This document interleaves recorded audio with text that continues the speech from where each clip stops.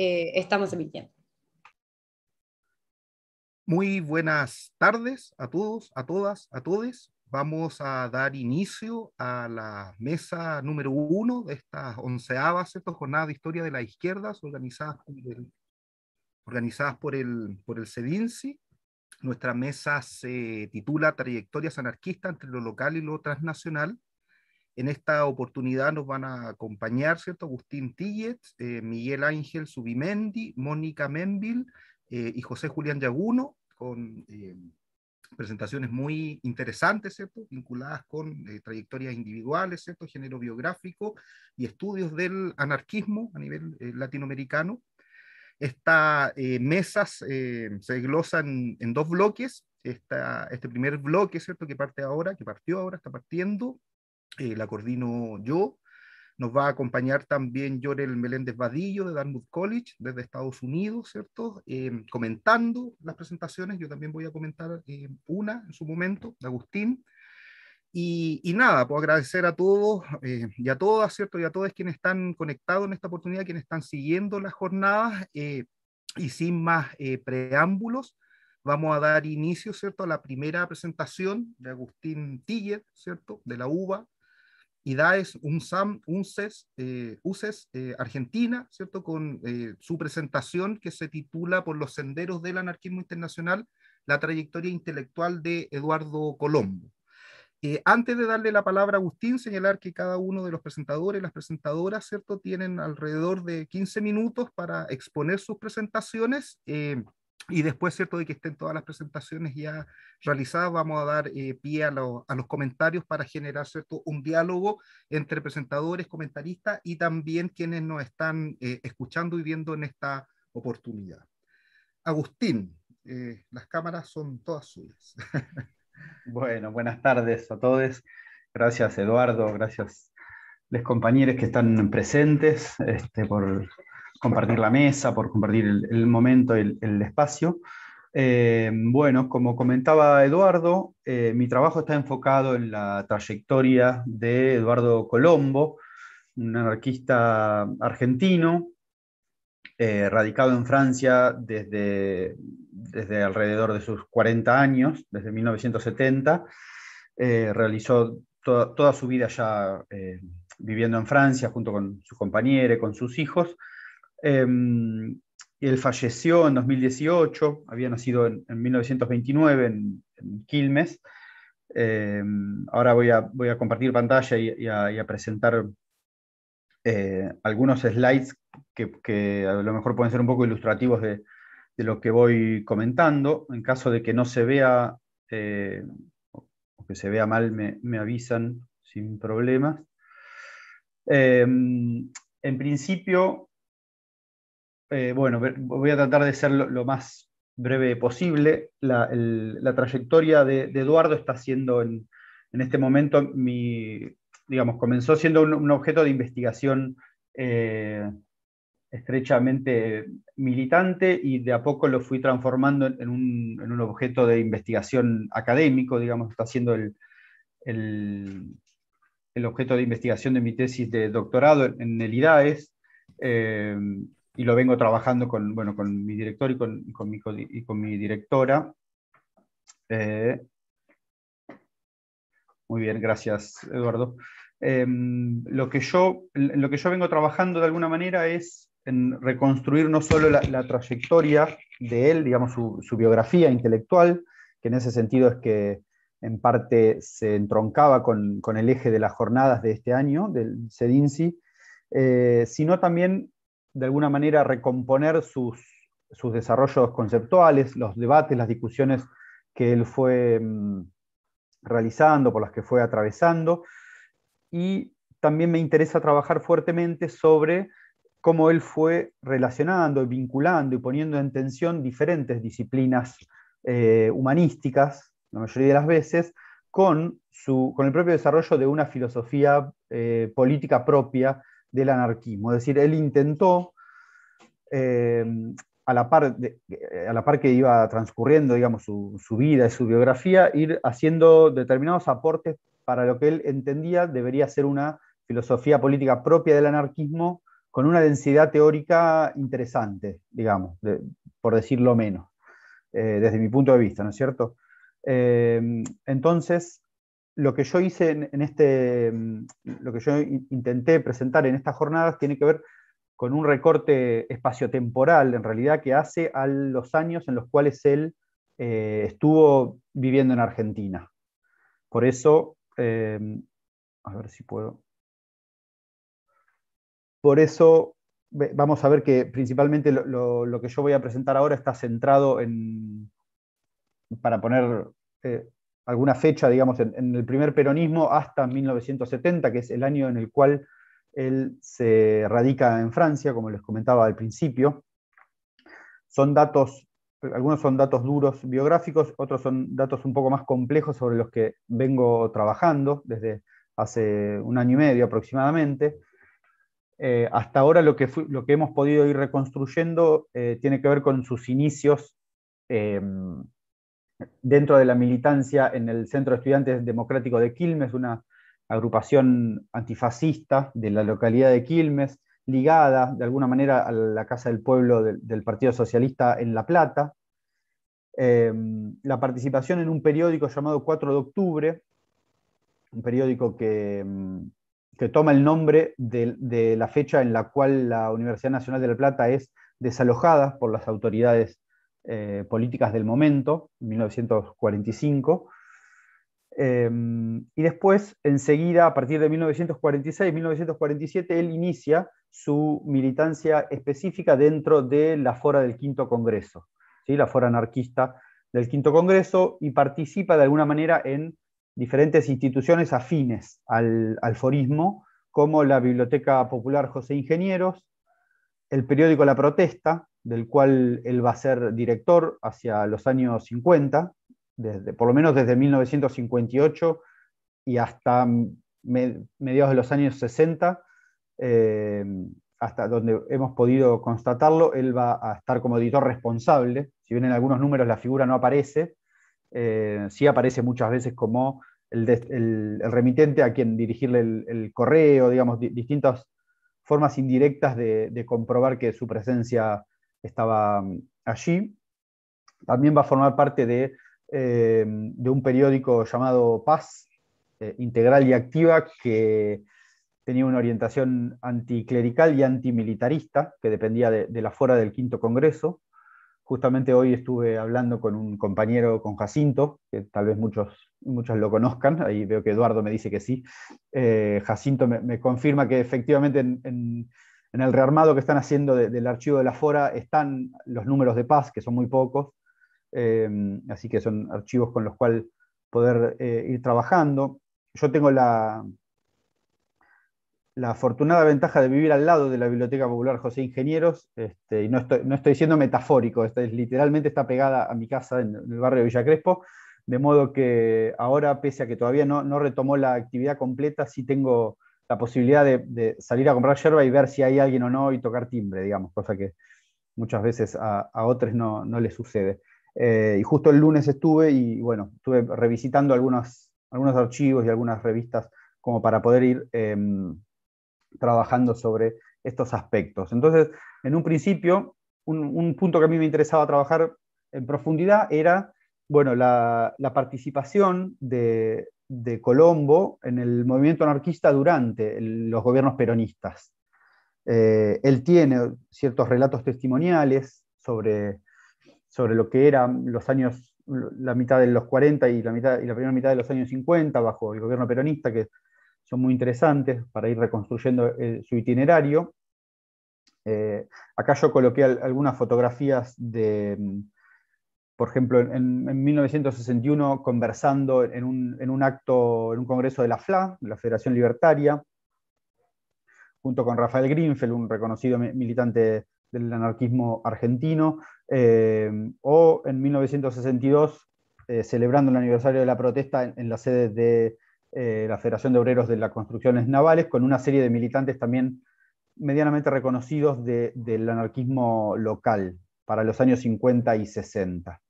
Em, en este sentido, en, el trabajo que, venimos realizando dentro del marco del doctorado, reconocemos, digamos, junto con, una importante bibliografía que viene eh, analizando el, anarquismo argentino, que, sobre la cual yo estimo que la mayoría de quienes acá estamos, estamos familiarizados, eh, que ante cierto declive del anarquismo en el movimiento obrero ha decidido enfocarse de alguna manera en ciertas trayectorias biográficas de aquellas personalidades que de alguna manera mantuvieron, mantuvieron vivas las instituciones, por decirlo de alguna manera, del anarquismo. Este, me refiero a los trabajos de, María Eugenia Bordagaray o de Nadia eh, Ledesma, que vienen trabajando sobre algunas biografías particulares como una, suerte de recurso metodológico para adentrarse en, el desenvolvimiento del anarquismo, en estos años, por lo menos. Em, bien, sumado a esta cuestión de, la estrategia metodológica biográfica, el otro punto sobre el que empecé a trabajar hace relativamente poco tenía que ver con plantear, eh, con retomar, digamos, el, enfoque transfronterizo y transnacional. Este, aprovecho que está Iván acá presente para eh, notificarla de que ha sido citada o que está siendo citada en mi proyecto de investigación. Em, porque me parecía muy interesante, sobre todo, tratar de comprender la, importancia que, tuvo el transnacionalismo en la biografía de Colombo, no solo porque de alguna manera se radica definitivamente en Francia y durante toda su vida los contactos a un lado y al otro del océano van a permanecer, sino porque ya desde su época de militante en Argentina, en la fora y en la protesta, tiene ciertos intercambios, digo, como la gran mayoría de, la militancia anarquista, con militantes de otras eh, regiones de, América y de Europa principalmente. En este sentido, por eso hacía mención a que llegaba hasta 1970 con este trabajo, digo, acá llego hasta 1968 porque no me quería seguir extendiendo temporalmente por el recorte mismo del trabajo.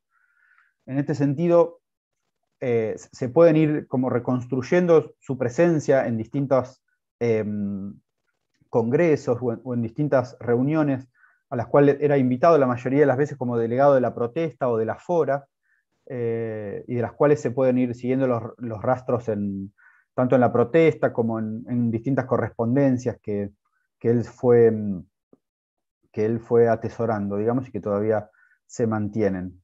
Em, esto me parecía un, punto muy, muy importante, eh, sobre todo porque hace de alguna manera al, que a la cosmovisión anarquista que él defendía de alguna manera, esta cuestión de principalmente pensarse como ciudadano internacional de alguna manera, independientemente del suelo en el cual le toque estar eh, viviendo. Al mismo tiempo, durante sus años de, de residencia en Argentina, él estudia medicina, se recibe como médico, se especializa en psiquiatría y tiene una fuerte participación en el, movimiento estudiantil durante los años del peronismo. Tanto es así que forma parte del Centro Universitario de Medicina, que es una experiencia muy de esa época, en la cual convergen humanistas, reformistas y como dice eh, uno, un compañero de, militancia de, Eduardo en, esos años, eh, había casi todos eran reformistas, algunos humanistas y dos anarquistas, eh, claramente identificados, digamos, ¿sí? que, que, eran él, Eduardo Colombo, y Jorge Periés, que es un científico que también se radicó en Francia, que está en la foto de abajo a la derecha, está al lado de Colombo junto con unas enfermeras. Entonces me interesaba también eh, retomar su, militancia universitaria, su militancia estudiantil, vincularla con su adscripción al anarquismo, por un lado, eh, y por otro lado, e, esto, digamos, dispara dos vertientes. Una es la de la presencia anarquista en, términos, eh, en, ámbitos universitarios, que lo liga con, con, anarquistas anteriores, que, algunos han sido estudiados por, Em, por María Eugenia o por, Nadia, como venía diciendo anteriormente, y que hay ahí un, nexo muy interesante entre ciencia y anarquismo, como para eh, ir retomando, por un lado, y por otro lado, su, posterior em, presencia dentro de eh, la psiquiatría y el psicoanálisis va a ser bastante determinante tanto para su desarrollo profesional como para su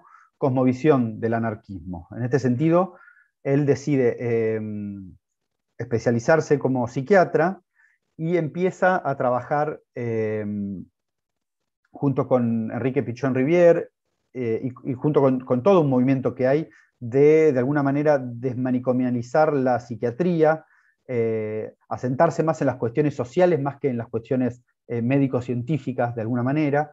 Y ahí hay todo un, movimiento que está muy en germen en los años 50, en los años 60 en, Argentina, eh, cuyo insignia más marcada tal vez sea la, experiencia de lo que se conoce como el Lanús, un policlínico donde mm, por primera vez se empezó a tratar, a, tratar los problemas psiquiátricos de modo más, más vinculado con, lo social que con lo, que con biológico, por, decirlo de alguna manera. Eh, entonces también me interesaba reconstruir ese, contexto en el cual él se inserta, no solo para entenderlo mejor y, entender mejor su trayectoria, sino porque al mismo tiempo tiene mucho vínculo con su desarrollo eh, teórico. Perfecto, Eduardo. Eh, él va a, tomar algunas herramientas de, la psicología o de la psicología social, eh, mucho de, las teorías de, Castoriadis van a influir en su, cosmovisión de, la filosofía política anarquista, eh, y al mismo tiempo se va a desempeñar como docente en universitario en la Universidad Nacional del Plata y en la Facultad de Filosofía y Letras, en la carrera de, Sociología de, la Universidad de Buenos Aires, va a dar una serie de cursos sobre psicología social. En la Universidad Nacional de La Plata va a ser el, titular de la materia durante varios años. Este, un, proceso que también viene analizando eh, Ana Biotti, una, investigadora de la Universidad de La Plata. Eh, bueno, va a dirigir la revista de, la Asociación de Psiquiatría Social, digamos, va a tener una participación bastante activa en, en el mundo de la psiquiatría social, hasta que finalmente se, exilia en, 1970 junto con su compañera, con Eloísa Castellanos, una, psicóloga y, compañera de, ya por el resto de, su vida, y allí se quedan y comienza otra etapa sobre la cual también vengo trabajando, pero que no llegaba a ser foco para el trabajo de esta presentación, digamos, de alguna manera pero una vez en, el exterior ya sí empieza a tomar contacto y a participar de diferentes experiencias eh, revisteriles, de, agrupaciones y de, participar en diferentes grupos, en diferentes debates teóricos, ¿no? Participa de, La Lanterne Noir, una revista de pensamiento crítico anarquista directamente, escribe en, la famosa eh, experiencia de bicicleta de, la, revista de Comunicaciones Libertarias de, España, participa y tiene un vínculo muy fuerte con el grupo del de, el, Centro de Estudio Libertario Pinelli de, de, Italia, tiene una muy buena relación con Amedeo Bertolo, que van a ser casi como hermanos, digamos, de alguna manera, eh, y ahí se conforma toda una serie de, de amistades, de grupos de afinidades, de, de, empezar a, producir teoría y conocimiento en conjunto.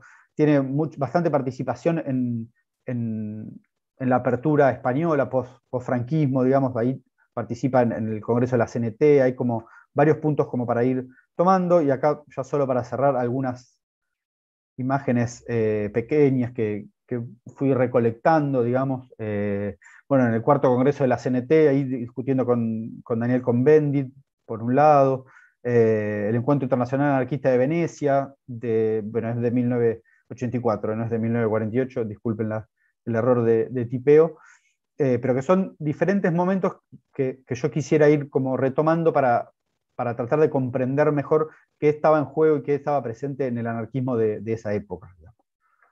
Hasta ahí creo que estamos bien con el tiempo, Eduardo, ¿verdad? Perfecto, entonces.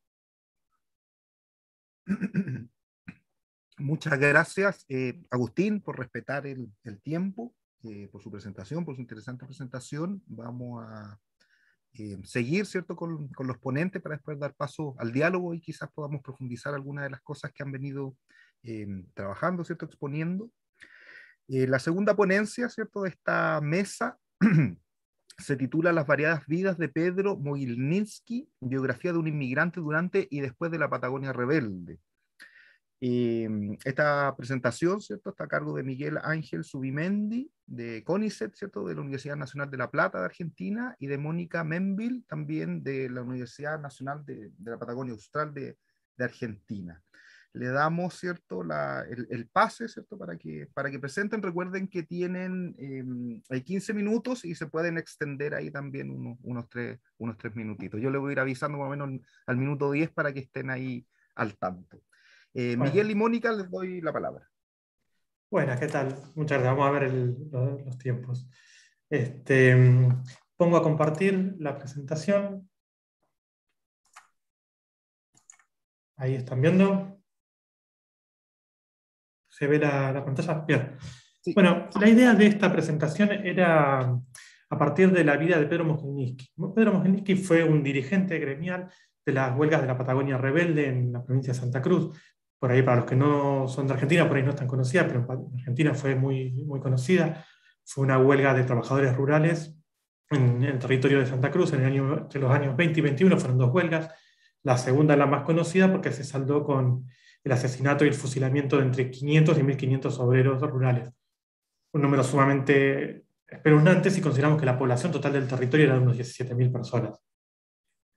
Y nos interesó avanzar en la vida de Pedro porque sabíamos que había sido un dirigente en la zona sur, en la zona de Río Gallegos, sur de, Santa Cruz, y haciendo nuestras investigaciones en el marco de un proyecto de investigación interdisciplinario de la Universidad Nacional de Patagonia Austral, eh, topamos con eh, unos descendientes de Pedro que viven en una, o que tienen una estancia donde él fue estanciero, en la zona norte, entre Caleta y, Pico Truncado, Caleta Olivia y Pico Truncado, que nos dieron una serie de materiales inéditos sobre Pedro Mojinique, como cartas y otros materiales sumamente interesantes. ¿Y por qué nos parecía interesante ver esta etapa de Pedro, más allá de la etapa de dirigente como huelguista que ya sabíamos que estaba? Porque tenemos, hay muy pocos datos sobre lo que fueron dirigentes de, esta huelga y que sobrevivieron a la misma. La gran mayoría de los dirigentes de la huelga fueron fusilados por el ejército en la, represión o eh, unos pocos lograron huir y salvar las vidas. Entonces nos interesaba mucho esta, esta idea de saber qué había ocurrido con con Pedro, que había sido la vida de Pedro posteriormente a la huelga, para conocer qué había pasado con algunas personas de la huelga que la sobrevivieron y que siguieron viviendo en el territorio. Sea, queríamos saber cómo, cómo había sido su biografía, cómo sus vidas habían ensamblado en el mismo territorio en el cual habían luchado y habían perdido. Se vio por ahí la trayectoria de Pedro en particular, ya que en cierta forma pasó de trabajador a patrón como estanciero, no es por ahí la, la, biografía más común de, de, quienes sobrevivieron a la huelga, nos pareció igualmente sumamente interesante. Entonces queremos ver cómo se ensamblaron en la sociedad, cómo confrontaron o convivieron con aquellos que habían ganado en la guerra, que serían la, la patronal, los estancieros. Entonces, a partir de estos datos que nos ofreció los descendientes de Pedro, la, familia Stingl, que actualmente tiene la, estancia y que ellos están haciendo un muy interesante trabajo de conservación y cuidado de estos materiales inéditos que están en su estancia y que nos lo proveyeron a nosotros, empezamos a trabajar. Y así descubrimos que Pedro, además de haber sido un dirigente gremial, que es lo que ya sabemos, había sido un estudiante revolucionario en la Rusia zarista. Eh, posteriormente a la huelga, había sido un trabajador del petróleo, vinculado al petróleo, en Comodoro Rivadavia, una localidad cercana a Santa Cruz. Y posteriormente había sido estanciero y criador o cabañista, había tenido una cabaña de, ovejas em, eh, merino australiano. Entonces, acá vemos eh, que en él se pueden reflejar distintas realidades de quienes vivieron y lucharon en este territorio austral en ese momento. Y vemos que en la vida particular, en el caso particular de Pedro, se cruzan diferentes roles de quienes habitaban el territorio. Fue un inmigrante, fue un dirigente, fue un estanciero, roles que en parte se ven contradictorios entre sí, pero que en él están cruzados, interrelacionados y que van cambiando, lo que nos pareció sumamente interesante. Y él es testigo y ejemplo de la vivencia de quienes vivían en ese territorio, y acá hay algo también que quería resaltar en el término de las biografías. El poblamiento de Santa Cruz fue el poblamiento luego de la campaña, de la mal llamada campaña del desierto, que provocó el exterminio, arrinconamiento y marginalización de los pobladores originarios. Ese territorio fue, era visibilizado por el Estado como un territorio vacío. Sabemos que no era así porque estaban los pobladores originarios, sobrevivieron a las matanzas del ejército era visualizado como vacío y fue poblado posteriormente en función de su rol como proveedor de materias primas, lanas específicamente, para los mercados centrales europeos. Y ahí cuando ocurre el poblamiento ganadero de Santa Cruz.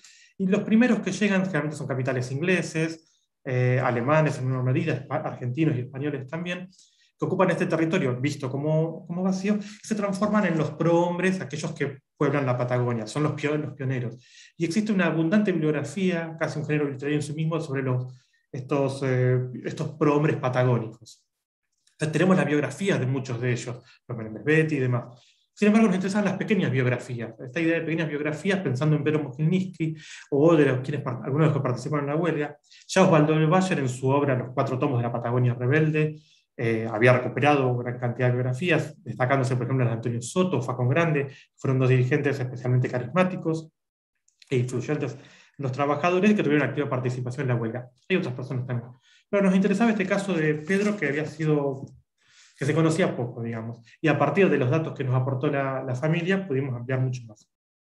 Entonces, creíamos que podíamos conocer más sobre algunas personas que habían estado en la huelga. Eh, entonces, acá vemos las diferentes etapas que tuvo Pedro a lo largo de, su vida. Haciendo básicamente un, un repaso, voy a enfatizar tres, tres momentos, digamos.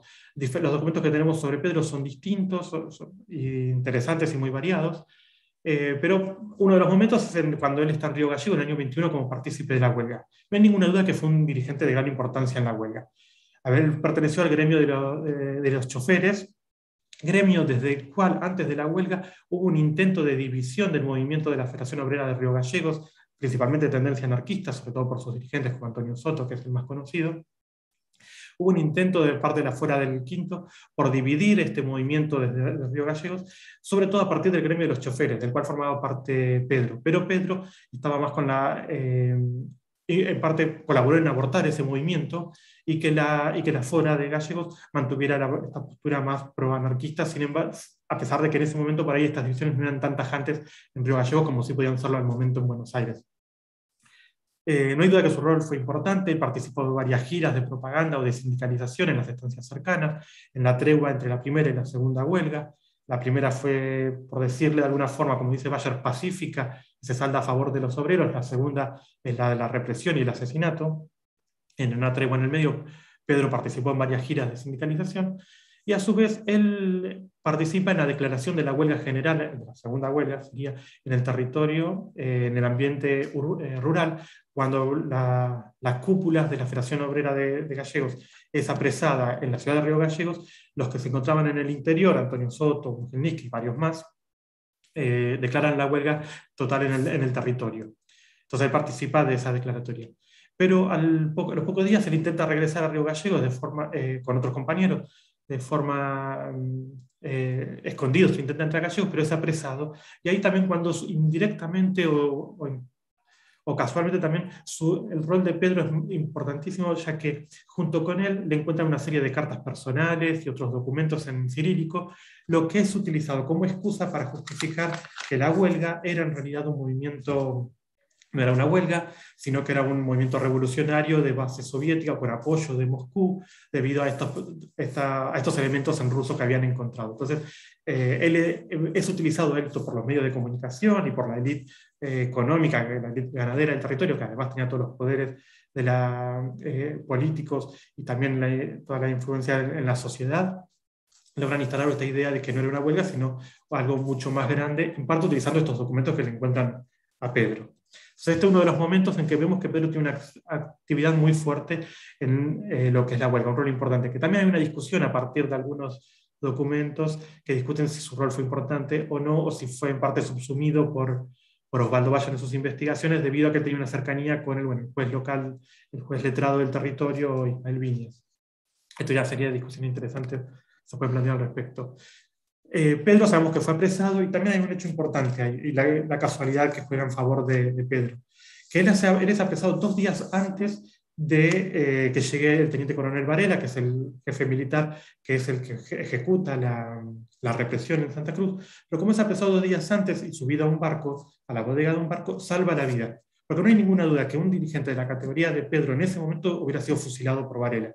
Porque prácticamente todos los dirigentes de la categoría similar como Pedro, o incluso cualquier persona sospechada de haber sido a favor de la huelga, fueron fusilados. Así que el azar juega en su favor, ya que se apresó dos días antes que llegue Varela y salva la vida. De allí lo único que sabemos es que en abril fue liberado junto con el resto de todos los demás prisioneros. no sabemos qué pasa con él hasta el año 25, a partir de uno de los documentos que nos aporta la familia, que es una carta a su futura esposa Jenny Polich. Jenny Polich era la hija de un estanciero alemán en una estancia entre Caleta, Olivia y Pico Truncado. Y en esa carta Pedro le quiere contar a Jenny eh, su vida previa antes de que ella decida casarse con él. Y allí él le cuenta una serie de cosas interesantes. Su vida previa en Rusia, que él pertenecía a una familia de gran poder económico, de gran importancia en la estructura del zarismo, él de, Ucrania. Su padre era, juez zarista y que él fue estudiante universitario y formó parte de una serie de huelgas de estudiantes que hubo en los años 10 y 11 en Rusia, eh, y que a partir de esa huelga, bueno, la mayoría de los, que participan en esa huelga fueron o deportados a Siberia o expulsados de Rusia, que es su situación. Y es interesante porque en esta él plantea un odio muy grande hacia su padre, quien, es, era un funcionario del zar y que no hizo nada, no intercedió en su favor, sino al revés favoreció que se tuviera que irse del país. Y acá él expresa una serie de simpatías y comprensión hacia el gobierno comunista de la época, en el cual ve como una continuidad de sus luchas, de las luchas que él había dado como estudiante en Rusia en el año 11. Y, eh, minutos. Y em, en ese sentido, bueno, él plantea esa continuidad, incluso cuando le comenta a Jenny que sus padres van a ser desalojados de unas propiedades que tenían, él lo ve como algo positivo, así ellos tienen que aprender a ganarse el pan como tuvo que hacer él. Se plantea simpatías hacia el gobierno soviético. Y la siguiente instancia que tenemos de Pedro es en el, año 36, en otra carta, en la cual ya está consolidado como estanciero. Al, al poquito tiempo de conocer a Jenny, fallece su padre, Carmen Polich, y él se hace cargo de la estancia, la de la Juana, junto con Jenny. En el año 36 ella está consolidada como estanciero y, es y él, tenemos el manuscrito de una carta en la cual es una respuesta que él está estableciendo ante el ministro de, Agricultura, porque él solicitó unos campos, unas tierras, porque la estancia Juana es muy chica y por los campos y no es muy buenos campos para la, la ganadería, solicitó otras, pero que se le fueron negadas por ser rusos judíos, tener ideas anarquistas ideas avanzadas y toda una serie de epítetos similares que son los que se, usaban, se usaron contra aquellos que participaron en la huelga del 21. Entonces es interesante esta otra carta, ya que él toma diferentes posiciones, algunas opuestas a las que había presentado en el 25 y otras eh, en continuación. Yo creo que lo, rescatable es cómo él se, define, él se define como demócrata, trata de prender una idea suya como de estanciero, emprendedor, no, eh, diferenciándose de lo que eran los estancieros o los terratenientes del, territorio, se presenta como un demócrata, entendido esto como aquel que respeta las leyes del país, hace un, giro discursivo sumamente interesante en defensa de su padre, a quien ahora lo pone como una víctima de los bolcheviques, eh, y, lo, dice como que su padre ayudó a que pudiera eh, huir de, Rusia. Creemos que esto es un juego que está haciendo él en cierta forma para, presentarse, para no presentarse como opuesto al padre, dando una idea de, presentarse como mejor, digamos.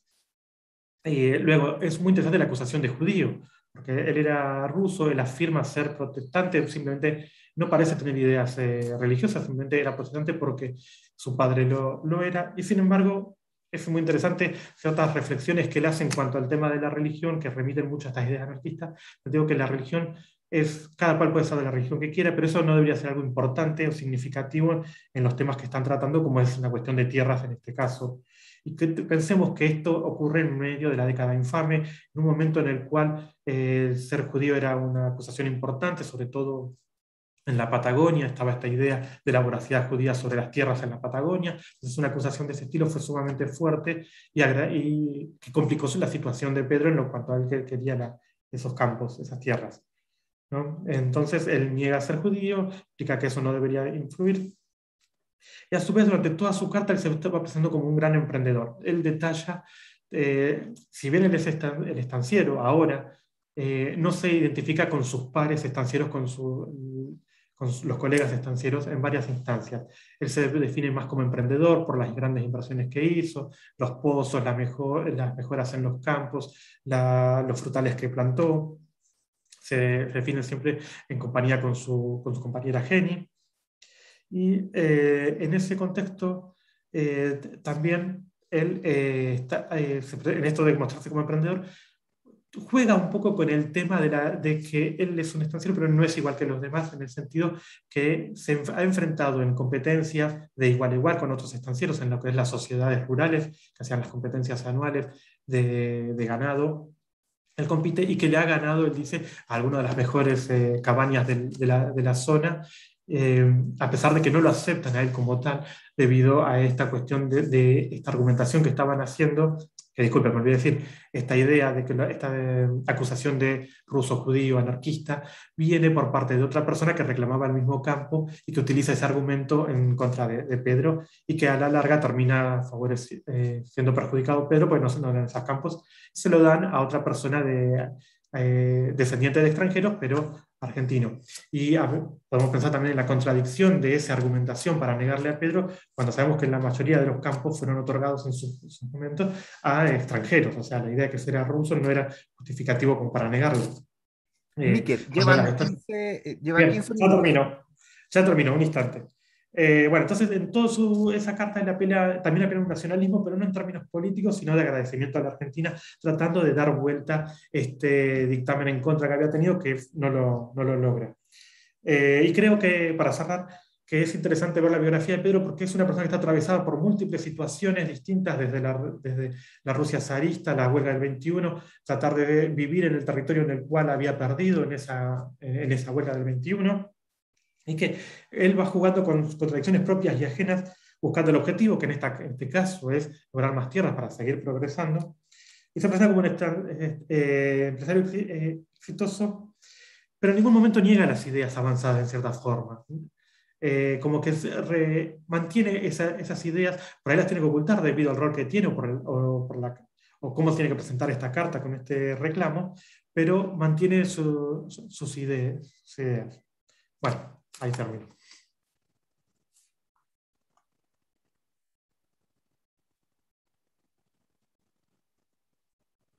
Muchas gracias. Eh, Perdón, corté medio abrupto, pero porque si no podía seguir un ratito más. Pero muchas gracias. Estaba, se demoró unos segundos en, en, activar el, el, audio.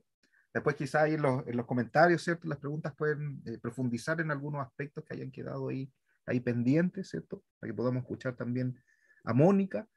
Em, y vamos a dar em, paso, ¿cierto?, a la tercera presentación em, de este primer bloque, ¿cierto?, de esta mesa titulada Trayectoria anarquista entre lo local y lo transnacional, que se titula Entre Barcelona y San José, Ricardo Falcó Mayor, editor anarquista 1910-1930, por parte de José Julián Yaguno, ¿cierto?, de la UNICAM Brasil, oriundo de, de Costa Rica.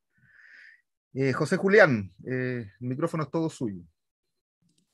Sí, muchas gracias Eduardo por la presentación y a todas las personas que, que, están en la organización, que nos están viendo en sus pantallas y que están en, en esta mesa. Eh, yo les voy a compartir entonces algunos trazos biográficos de una persona que es, es poca conocida en la historiografía y en, y en los medios libertarios, pero que en mi caso, que estoy investigando y reconstruyendo las trayectorias del movimiento anarquista en Centroamérica, que también ha sido un movimiento poco estudiado, ha sido una persona fundamental porque básicamente eh, fue el que concentró muchísimas de las labores de edición de libros, de periódicos, eh, desde Costa Rica, pero que eran vendidos y distribuidos en, en la mayoría de los países centroamericanos. Entonces, eh, voy a, a, dar inicio a la trayectoria de Ricardo Falcó, eh, y me voy a concentrar sobre todo en su vida como, como editor y también qué nos dice un poco eh, estudiar las publicaciones en las que él participó para identificar correspondencia, con qué militantes hablaba, qué tipo de personas publicaba, en qué tipo de, de actividades participaba. Entonces, eh, como les decía en este momento, Ricardo Falcó Mayor nace en Cataluña, en España, él nace en un pequeño municipio que se llama Tortosa en 1880, en la provincia de Tarragona. Y en 1896, más o menos, tenemos información de que es enviado por sus padres para estudiar el oficio de impresión en la ciudad de, de Barcelona. Los datos que tenemos de Ricardo sobre su niñez y sobre su estancia en España son pocos. Sin embargo, voy a darles aquí un panorama eh, breve para poder eh, ubicarlo mejor. Entonces, eh, tenemos información de que en 1896 realiza el servicio militar obligatorio. Dos años después, ya Ricardo empieza a trabajar como tipógrafo en Barcelona y participa de la fundación de la Sociedad del Arte de Imprimir, que era pues una sociedad que agrupaba al gremio de tipógrafos en la ciudad y posteriormente va a ser miembro de su junta directiva y también del, del Ateneo Sindicalista de Barcelona. En este lugar, lugar entabla entonces una amistad bastante cercana con el militante Anselmo Lorenzo y con quien va a participar en varios de sus, de sus proyectos de edición posteriores. En 1908 tenemos información de, que Ricardo participa en Solidaridad Obrera con envío de dinero y en varias campañas también a favor de, la prensa. 1909 va a ser una fecha clave para entender los, acontecimientos que impulsarán a Ricardo a migrar a, a, Centroamérica. Acontece la huelga general de 1909 en Barcelona, también conocida como la Semana Trágica, que llevó a uno de sus desenlaces, pues al fusilamiento del pedagogo eh, catalán Francisco Ferrer y Guardia. Y en los informes del cónsul costarricense César Nieto en la ciudad de Barcelona, él habla de esta huelga, alerta a las autoridades costarricenses sobre lo, que está sucediendo en, en Barcelona y precisamente manda una lista de 35 pasajeros entre octubre y noviembre de 1909 que van a viajar en la compañía transatlántica española hacia el puerto caribeño de Limón en Costa Rica. Y si bien dentro de esta lista de primeros pasajeros no encontramos a Ricardo Falcó, solo unos meses después, ya a inicios de 1910, tenemos la información de que precisamente llega al puerto del Caribe costarricense y en este momento eh, la historiografía, digamos, que ha tratado sobre la inmigración española en, en Costa Rica, lo nombra porque él se va a convertir en una persona bastante importante en el oficio del, libro en el país y básicamente eh, se debe a dos, digamos, dos acontecimientos que influyen en esta decisión de emigrar. Una puede ser la cadena represiva que se dio después de la huelga general y también el hecho de que en el caso costarricense existió una cadena de migración de, de catalanes desde finales del siglo XIX que se dedicaron precisamente al gremio de la impresión. Eh, María, eh, María Delines, que fue una de estas eh, personas, que era la encargada de la librería española en la ciudad de San José, viaja precisamente a Barcelona y es la que después va a escribir las cartas de recomendación para que Ricardo pueda viajar a Costa Rica. Entonces, desde 1910, él ya se establece en Costa Rica. En este momento, desarrolla toda una labor para lograr los permisos para que su esposa, eh, Manuela Puig eh, pueda viajar con su pequeño hijo eh, José Antonio. Entonces ya en 1910 la familia se, se reunifica en la ciudad de San José y van a nacer sus otros tres hijos que van a ser Ricardo, Rubén y Federico Falcó Puig.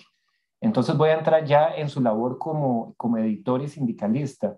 Desde 1910 entonces Ricardo trabaja en la imprenta Alcina, que era también eh, regida por catalanes, en el periódico La Información y la imprenta nacional, y poco tiempo después establece una empresa propia con uno de sus amigos, otro catalán que había migrado con él en 1910, llamado Andrés Borracé, y ellos fundan una sociedad de hecho que se llamará Falcó y Borracé.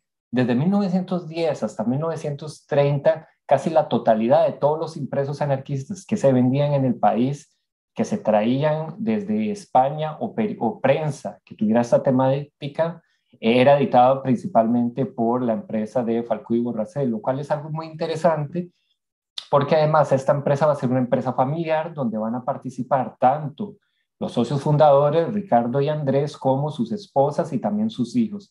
Inclusive eh, la mayoría de, sus hijos van a continuar en este eh, oficio de la impresión después de que sus padres eh, murieran. Entonces, Ricardo en este momento edita nueve publicaciones, la más importante de ellas en términos de su vinculación con el anarquismo de renovación, que es editada entre 1911 y 1914, Pero Ricardo también participa en la edición de periódicos de satírica, de sátira política que eran editados en las épocas de las elecciones, de revistas científicas, de revistas literarias y también de algunas eh, revistas vinculadas a la Confederación Generales de Trabajadores de Costa Rica, que van a ser Espartaco, eh, la Confederación y la prensa. Entonces, a través de estas eh, publicaciones en las que participa Ricardo, podemos eh, establecer algunos enlaces y voy a ir mencionando algunos de los militantes con los que él participa, con los que tiene correspondencia, etc. El principal va a ser, como ya mencioné ahora, que era un amigo de él desde su estancia en Barcelona, Anselmo Lorenzo, con quien va a editar precisamente Renovación. Entonces, esta conexión de Barcelona y San José no solo se da en el caso particular de la migración de Ricardo, que es una trayectoria singular, porque como les decía, él se se mantenía dentro de, dentro de un grupo de catalanes eh, donde eh, la mayoría estaban dedicados al, al, oficio de la impresión y la mayoría inclusive se va a dedicar al comercio se van a convertir en empresarios exitosos. Si bien él sigue un poco también esa trayectoria, porque su imprenta y su familia va a tener un ascenso económico importante en, su estancia en Costa Rica, eh, Ricardo va a mantener correspondencia con camaradas de, de varios países eh, con Anselmo Lorenzo, como les mencioné, con Ricardo Mella y con José Prat, va a tener también una correspondencia de muchísimos años. Eh, con Jean Gravé de Francia va a mantener también correspondencia, con Jaime Vidal y con Pedro Esteve en los Estados Unidos, con Juan Tour en la Tierra, eh, del periódico Tierra en La Habana, con Manuel Rodríguez en Panamá. Entonces, a través de estos contactos podemos ver que en muchas de las publicaciones, inclusive establecidas en otros países de Centroamérica, como el caso de Panamá o en el Caribe, como eh, Cuba, eh, los españoles van a jugar un papel, los inmigrantes españoles bastante importantes como editores, y Ricardo tiene contactos básicamente con, eh, con todos estos. Esta labor le va a traer algunos problemas con las autoridades del país y en 1919 es acusado de anarquista pernicioso en varios periódicos entabla varias eh, polémicas y esto finalmente le genera una orden de expulsión en 1922, donde el jefe de policía de la, de, la ciudad de San José eh, manda a elaborar una investigación sobre todas las publicaciones eh, precisamente impresas en, su casa, porque su librería y su empresa, digamos, era a la vez el lugar donde él vivía.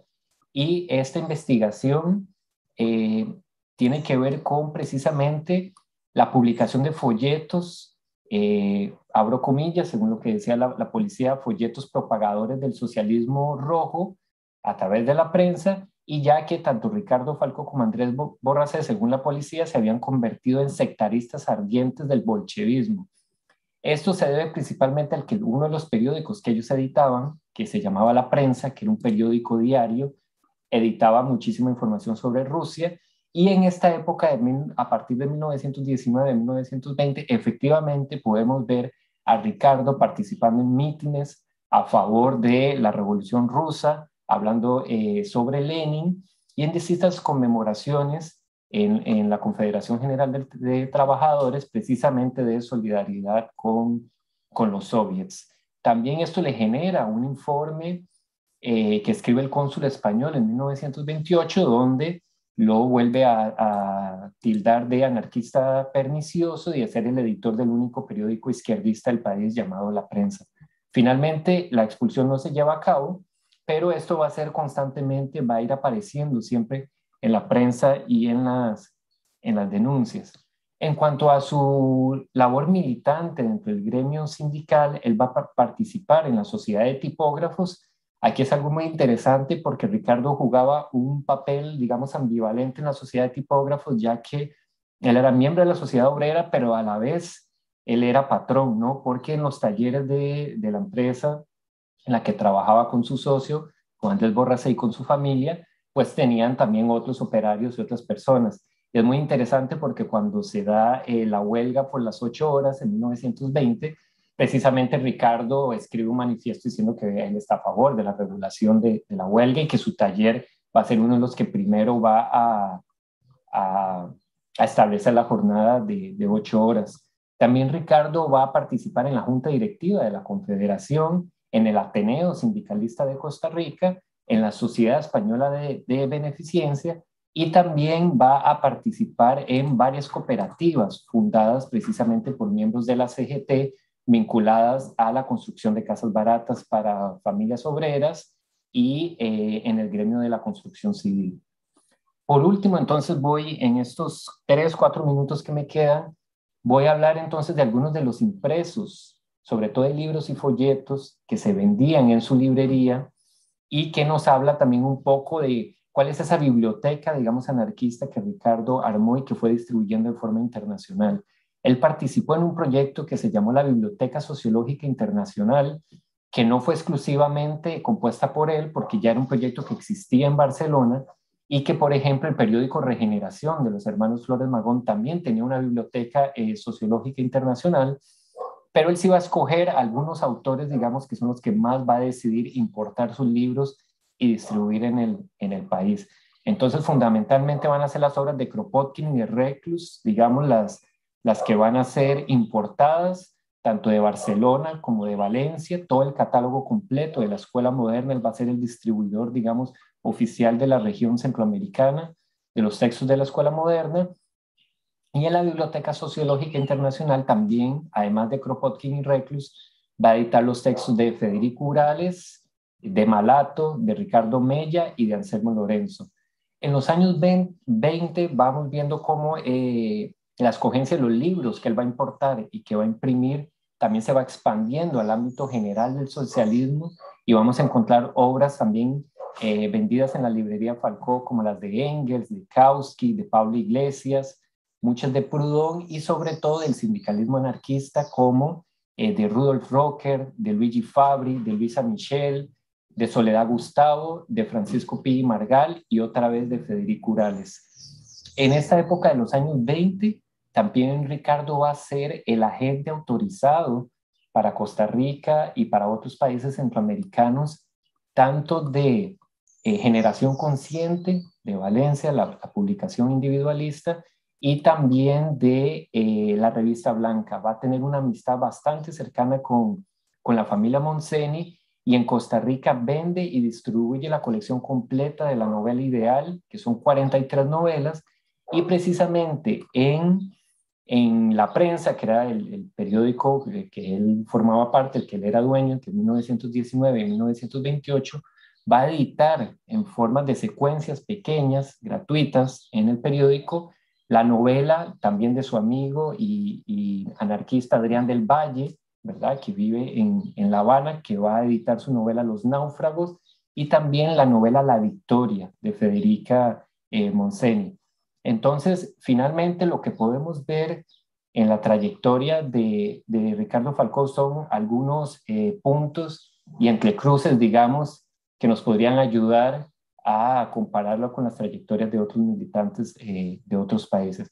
Lo primero es una trayectoria internacional en su labor como tipógrafo y como editor, que como mencioné ahora, en la correspondencia que yo he podido encontrar y en sus relaciones establecidas en la prensa, podemos ver una relación bastante directa con otros editores, inmigrantes españoles también en América Latina, como Pedro Esteve y Jaime Vidal en Estados Unidos, Adrián del Valle en Cuba, Juan Tur en Cuba, Manuel Rodríguez en Panamá, José María Blasquez de Pedro en Panamá y la familia Monseni, tanto Soledad Gustavo, Federico Urales como Federica eh, Monseni como editor y, y, como, como empresario en Costa Rica, que es como generalmente se le, ha, se le ha conocido, él tenía un papel bastante interesante porque si bien participaba de este círculo de libreros eh, catalanes, estableció precisamente un, un, negocio próspero, ¿no? Y participó de un trabajo de divulgación cultural eh, bastante importante que van a continuar sus hijos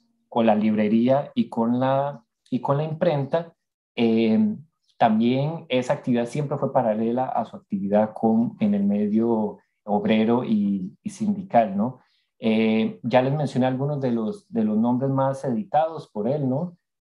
Anselmo Lorenzo, Pi Margal, la familia Monseni, José Prat, Malatesta, ¿no? Y por último, eh, podemos decir que también transita por, por por distintos momentos también del anarquismo y en los años 20, que eso es algo que queremos profundizar más, en los años 30, en los años 20, se ve por el tipo de, de textos que publica, tanto en la prensa como en los libros, que importa también una importancia relación con lo que está aconteciendo en, en Rusia, que adopte una posición favorable a los soviets, como lo establecieron también, por ejemplo, militantes como José María Blasquez de Pedro en, en Panamá. Y eh, también es un episodio conocido que participó dentro de los grupos pro-republicanos que mandaban dinero y fondos para eh, sus camaradas en España durante la Guerra Civil Española, pero esto es un, un tema que todavía nos queda por, eh, por profundizar. Entonces, bueno, en estos 15 minutos traté de darles una trayectoria un poco apretada de Ricardo Falcó Mayor. Muchísimas gracias. Muchas gracias, eh, José Julián. ¿cierto? Extender también los agradecimientos a Agustín, a Miquel, por respetar los tiempos, eh, siempre escasos, ¿cierto? Finalmente en este tipo de instancias tenemos 15 minutos para, para presentar ¿cierto? una pincelada de los, de los temas, de las investigaciones que nosotros eh, venimos desarrollando. Y también saludar a quienes nos están mirando y nos han dejado saludos en el, en el chat de, del canal de YouTube. ¿cierto? Saludar a Nadia Ledesma Prieto, a Martín Albornoz, a Natalia Pap, a Adrián Celentano eh, desde Argentina, ¿cierto? A Miguel Barone desde Montevideo, Uruguay, eh, a Laura Fernández, ¿cierto? Cordero, a Felipe Mardones desde Chile y también a Ana María Stingl, que, es, em, que nos escribe desde la estancia Juana, que es eh, nieta, ¿cierto?, de Pedro, eh, me cuesta el apellido, de, Pedro eh, Mogilninsky. bueno, vamos a dar, después de, estas presentaciones, ¿cierto? Vamos a, em, vamos a darle la palabra, como habíamos señalado al comienzo, ¿cierto? Al profesor Llorel Meléndez Vadillo, puertorriqueño, que nos acompaña, ¿cierto? Mm, en esta oportunidad desde su lugar de trabajo, desde Dartmouth College en Estados Unidos, eh, y que tiene la misión de, de, presentar, ¿cierto? Va a tener alrededor de 10 minutos y se puede extender unos minutillos más, ¿cierto? Porque tiene la misión de presentar eh, tanto la, la, la, comentar, ¿cierto? La presentación de Miguel y de Mónica y de, y de José Julián, ¿ya? estas dos presentaciones. Así que eso, Llorel, muchas gracias por acompañarnos en esta oportunidad, ¿cierto? por vernos nuevamente, eh, y tiene alrededor de 10-12 minutos para comentar esta, estas dos presentaciones y después presentaría, se comentaría yo la presentación de, de, Agustín para que generemos un diálogo. El micrófono es todo suyo. Muchísimas gracias a todas y todos. Eh, gracias, Eduardo, por eso. Yo espero no ser el primer desordenado en relación al tiempo, así que por favor me puedes parar en cualquier momento. Eh, quisiera comenzar agradeciendo a los amigos y compañeros Ivana Margarucci y Eduardo Godoy Sepúlveda por la invitación. Para mí es un gusto enorme poder colaborar con el CEDINSI y espero que muy pronto podamos hacer estos encuentros en persona y darnos la cervecita eh, luego de las mesas, eh, que es el espacio de socialización para ir cuajando esas ideas.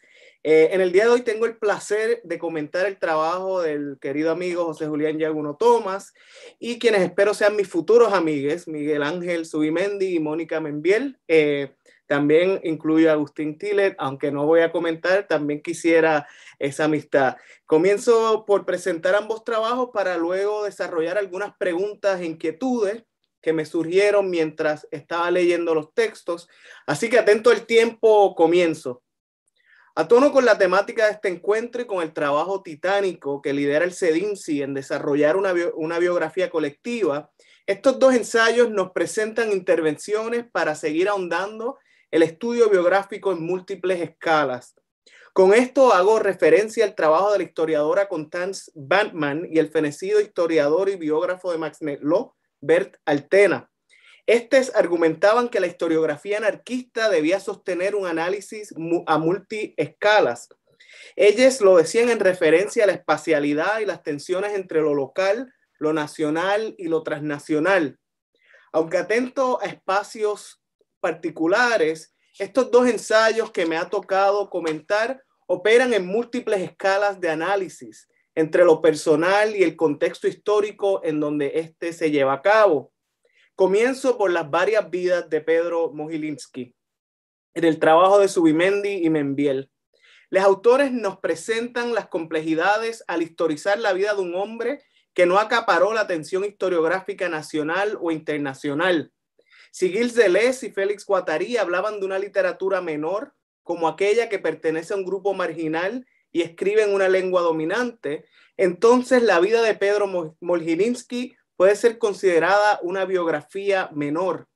Esto, lejos de, ser una crítica o un obstáculo historiográfico, es una invitación a explorar las múltiples realidades y subjetividades que negociaron aquellos que participaron en un evento tan canónico como la Patagonia trágica o rebelde. Los autores de este ensayo nos presentan la vida de Molginsky, un inmigrante ruso en la Patagonia Austral y las zonas marginales de Santa Cruz, que no solamente participó activamente en los movimientos revolucionarios durante el 20 y el 21, sino que luego parecería haber tenido ascendencia social. El ensayo se construye alrededor de una lectura minuciosa y a contracorrientes de fuentes que incluyen varias cartas, memorias y textos. Más allá de hacer conclusiones definitivas, los autores arrojan preguntas e interrogantes sobre cómo pensar la vida de Molginitsky más allá de los archivos. El texto utiliza la figura de Molginitsky para pensar los procesos sociales más amplios en la región. Me parece que robando una frase del texto de Yaguno Thomas que voy a discutir eh, más adelante, los autores de este ensayo presentan una estampa menos gloriosa, pero más humana de Molginitsky. Por ejemplo, me disfruté de sobremanera las descripciones de su físico, su forma de ser y cómo tomaba un té demasiado claro, sospechosamente claro, como si fuese la ginebra que tanto le gustaba.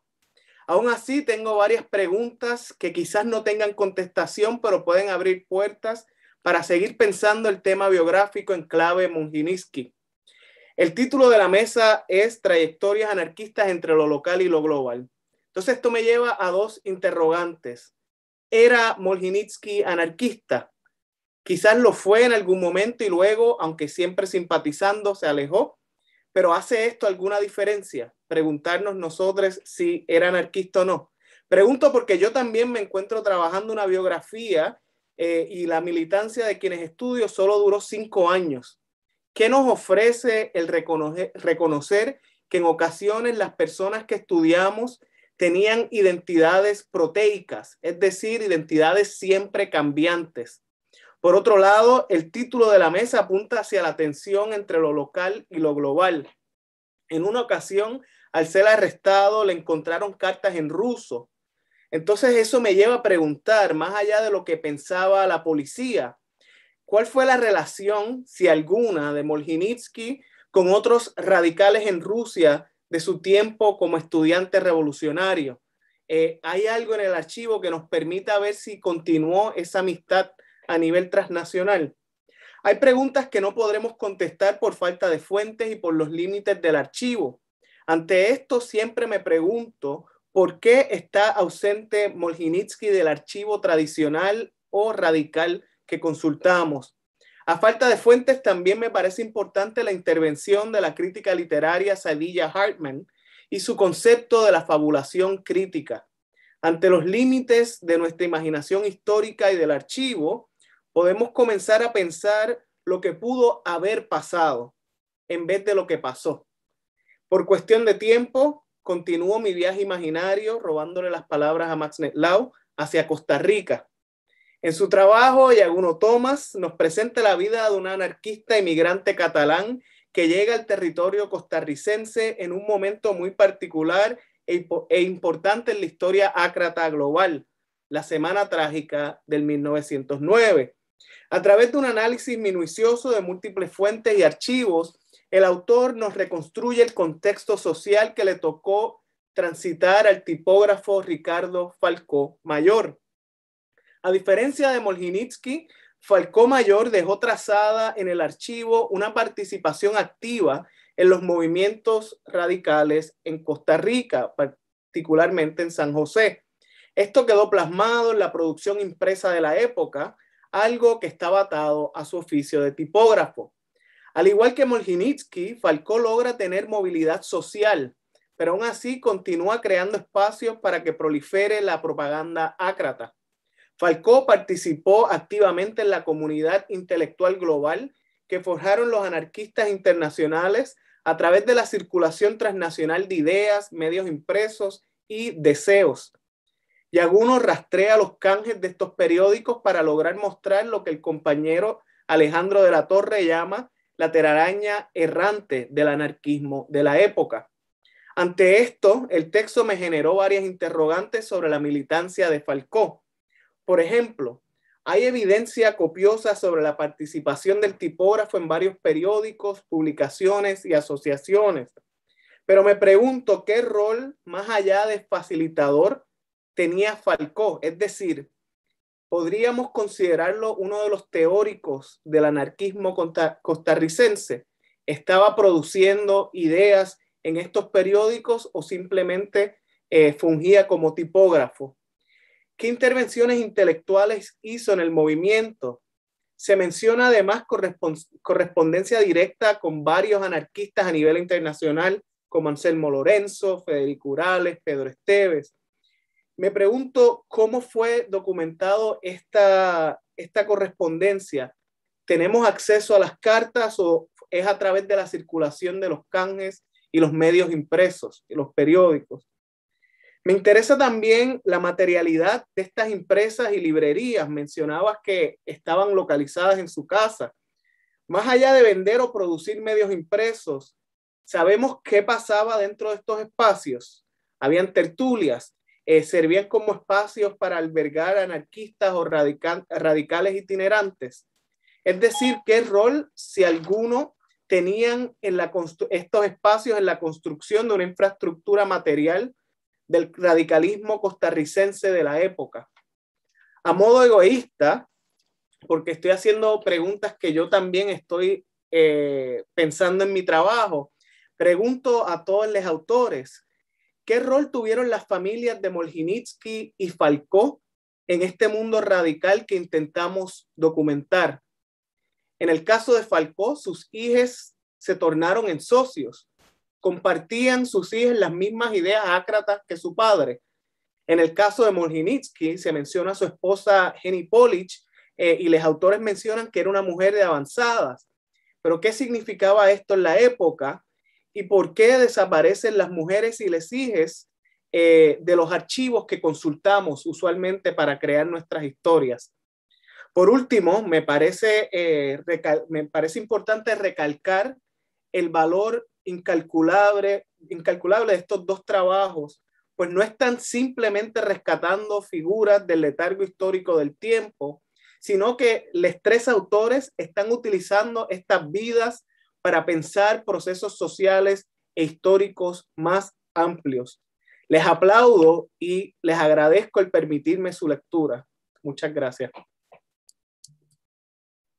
Muchas gracias. Eh, sí, eh, Llorel por sus palabras, por sus inquietudes, eh, que se interrelacionan también no solamente ¿cierto? Con, el, con el trabajo que él mismo ha venido, ha venido realizando, sino también de una u otra forma, ¿cierto? Con el trabajo que viene desarrollando Agustín, con el que viene desarrollando Ivana y con el que vengo desarrollando yo también. Eh, me toca en esta oportunidad, ¿cierto? aparte de haber coordinado la mesa, de comentar ¿cierto? el trabajo de, de Agustín. Eh, y, voy a partir eh, con eso. ¿ya? Para quienes no me conocen, eh, soy eh, doctor en historia, profesor de adjunto del Departamento de Historia de la Universidad de Santiago y también profesor de la carrera de Sociología del programa Bachillerato de, de la Universidad Diego Portales, ¿ya? ambas acá en Chile. voy a, estoy arreglando acá mis, mis controles. con respecto, ¿cierto? A la, a la, mm, a la presentación de, Agustín, ¿cierto? Y, su texto, porque en realidad a rato lo, las ponencias, ¿cierto? Que uno, los trabajos que uno envía, los trabajos escritos que uno envía exceden, ¿cierto? Nuestras presentaciones y lo que podemos exponer de ellos también en estos 15 minutos. Em, quiero partir señalando que la investigación de Agustín en este sentido, ¿cierto? Lo que hemos podido conocer eh, y la que está desarrollando, porque una investigación que, que no está acabada aún, como él mismo nos señalaba en los primeros minutos de su presentación, da cuenta, sin duda alguna, de las potencialidades de la biografía como propuesta metodológica. eh, yo, yo siempre he señalado, y disculpen la, autorreferencia, pero para el caso chileno que reivindico ¿cierto? un tema y una propuesta metodológica que ha sido históricamente desdeñada, es decir, por una parte el método biográfico, ¿cierto?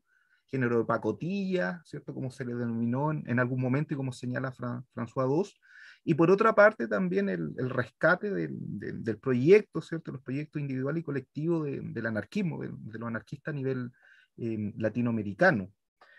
Eh, y en ese sentido, ¿cierto? Eh, creo que la investigación de Agustín, como señalaba, pero también la investigación, ¿cierto?, de Mónica, de Miquel, de, de José Julián, eh, insisto, no, nos dan cuenta de, de, sus potencialidades, ya que la mirada, ¿cierto?, en torno a un sujeto nos permite entender de mejor forma las estructuras sociales, las culturas políticas, las militancias, las dinámicas los espacios de sociabilidad a propósito de lo que señalaba yo, ¿cierto? en relación a, la, a las librerías como espacios de, de socialización, eh, y también a propósito del devenir de, de, las sociedades en las cuales estos sujetos también se, se desenvuelven, es decir, eh, el, el, trabajo ¿cierto? de Agustín con respecto a Colombo no solamente no habla de la trayectoria eh, político-intelectual ¿cierto? De, del biografiado, sino que también no habla de, de un contexto mucho mayor signado también por eh, diversos acontecimientos políticos, económicos ¿cierto? y culturales.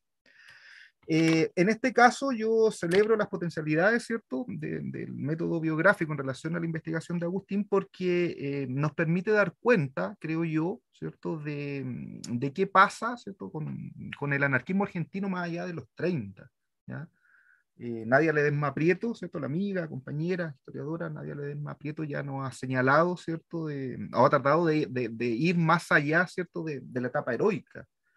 Y varios de, nosotros, ¿cierto? De nosotras, de los que hemos participado en estos encuentros donde hemos presentado, ¿cierto? En relación al proyecto político-cultural del anarquismo, también nos hemos embarcado en eso, es decir, no solamente centrar la mirada en la etapa heroica, sino que también en en aquellos momentos donde eh, el proyecto anarquista parece ir en retroceso. Yo creo que las trayectorias de estos sujetos, que fueron la quinta esencia ¿cierto? del movimiento, que pusieron en movimiento ¿cierto? las propuestas eh, político-ideológicas del anarquismo, no, nos permiten quizás hilar más fino con respecto a esos eh, momentos o procesos de avance, pero también de, de retroceso.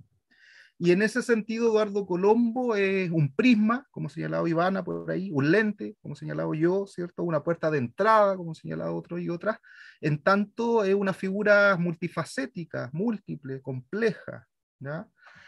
Eh, me, me, gusta en lo particular que, que, que, en su presentación y en su texto, ¿cierto? Agustín haya delimitado eh, la vida, ¿cierto? De Colombo solamente para, para el espacio argentino, ¿cierto? Excluye eh, su vida, ¿cierto? Y su producción intelectual, para el caso francés, eh, que, sin duda daría pie para una investigación, ¿cierto? Para, para, para, para abordarlo con, con, mayor detenimiento, porque me da la impresión de que, de que Eduardo Colombo vivió casi la mitad de su vida en Argentina. Me da la impresión de que vivió más tiempo en Francia que en, que, en realidad que en Argentina. Por lo tanto, también no podría decir que, que argentino-francés en ese sentido. Y me gusta también, me gustó que, que, a partir de esta delimitación territorial, temporal, también haya centrado su mirada, ¿cierto?, en, en, en estos en estas tres variables que él, que él, mencionó, ¿cierto?, la participación en el movimiento libertario, la fora quinto congreso, ¿cierto?, la protesta, etcétera, su militancia universitaria también en tiempos del peronismo y su formación académica, ¿cierto?, médico, psiquiatría, en relación con la psicología social y el, y el desarrollo también del psicoanálisis, ¿cierto?, en, en Argentina en lo particular. ¿ya?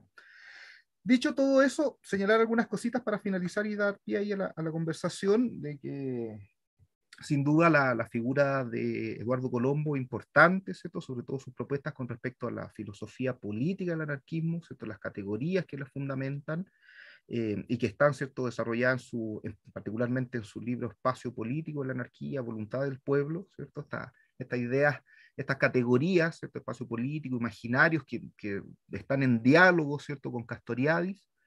Eh, en ese sentido, decir que Colombo nutre el pensamiento anarquista, le intenta dar una mayor consistencia, ¿cierto? Y en ese sentido, soporte político ideológico, ¿cierto? Eh, es sustancial. eh, sobre todo en relación a que esta idea del, espacio político, como, como, conversábamos ayer con, con, Diego Mellado, ¿cierto?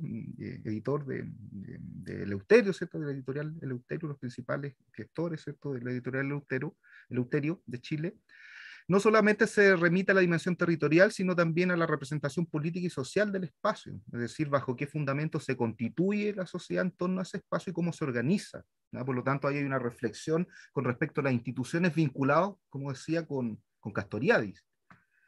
Eh, eh, señalar que Eduardo Colombo es parte de una comunidad intelectual, ¿cierto? no solamente a nivel latinoamericano, sino también global, si se quiere plantear en esos términos. Eh, por lo tanto, eh, también es preciso establecer, para, poder entender el desarrollo de, su pensamiento, sus propuestas, el nexo que va a tener con otros pensadores, como decía Agustín, eh, especialmente de Francia y de, Italia, ¿ya? no solamente pensadores, sino que también eh, organizaciones anarquistas.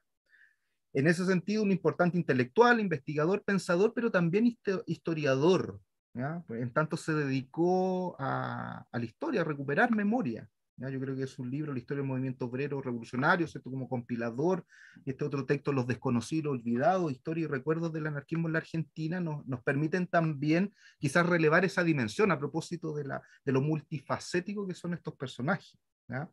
En ese sentido, creo yo, y para ir cerrando, hay que verlo en el contexto de, de, la comunidad intelectual anarquista, que es plural, que es diversa, que amplia, los diálogos que él establece, su aporte a propósito de mm, su desarrollo de la filosofía política del anarquismo, post-mayo 68, influenciado ¿cierto? por Castoriadis, y su labor eh, y su producción intelectual ¿cierto? en la revista Refraction, y su aporte también en el rescate de la historia y memoria del anarquismo argentino propiamente tal.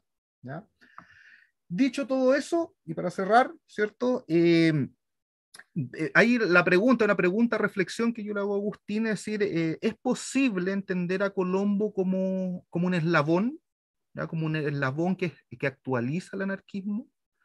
Pensando en que, que, que, por una parte, claro, busca la preservación de la memoria anarquista, pero también es un puente entre generaciones.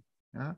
Él es parte, de hecho, de una generación de anarquistas que estudian en la universidad, que conviven, que tienen que convivir ¿cierto? con el peronismo, pero que tienen vínculo y que los van estrechando con los remanentes del anarquismo de las primeras décadas del siglo XX. Frecuentan espacios anarquistas, ¿cierto? Los ingenieros, la protesta, la fora, diversifican las miradas, ¿cierto? No solamente él, con respecto al anarquismo, desde eh, disciplinas, ¿cierto? Bien, bien diversas, desde la medicina, la psiquiatría, la sociología, las ciencias sociales, a propósito de los vínculos con Gino Germani, con Torcuato Di Tella, que menciona por ahí en su, en su texto, ¿cierto, Agustín? Eh, eso por una parte, es decir, esta idea del eslabón, de bisagra, ¿cierto? Eh, y lo otro es que, que, claro, yo creo que la biografía de Colombo y lo que nos presentó Agustín en esta oportunidad es la punta del iceberg. Eh, la punta del iceberg, pero que no deja de tener importancia porque el periodo en el cual se forja el revolucionario, por decirlo de alguna forma. ¿no? Y ahí es donde a mí me gustaría, yo sé que el trabajo de Agustín está centrado, ¿cierto?, en lo político intelectual, por lo tanto en la dimensión pública principalmente, pero, pero creo yo, pienso yo, muy humildemente, que es preciso quizás profundizar en, en los antecedentes familiares de Colombia, es decir, quiénes son sus padres, sus hermanos, a qué se dedican sus padres, dónde estudia, en la primaria, ¿cierto? ¿Cuál es el contexto donde nace y se desarrolla en la infancia? Sabemos que en Quilmes, sabemos que en 1929, ¿cierto? Eh, ¿Cómo se lleva a cabo su proceso de politización? ¿Y qué significa, poner un ejemplo a propósito esta relación con el peronismo, eh, qué significa la clandestinidad y la prisión política durante el, peronismo? Sobre todo, y con esto termino, disculpen, eh, pensando en que mm, el, mismo Agustín hace alusión en su texto, ¿cierto? citando Di Pascal, ¿cierto? y Sumo, dice los espacios y los momentos de formación, el universo familiar y laboral, la esfera privada, los episodios y acontecimientos claves de la historia de vida y experiencias personales, los viajes intercambios culturales las tramas de amigos, colaboradores, discípulos y estudiantes, entre otros elementos que nos parecen centrales a la hora de aprender este, este nivel de análisis.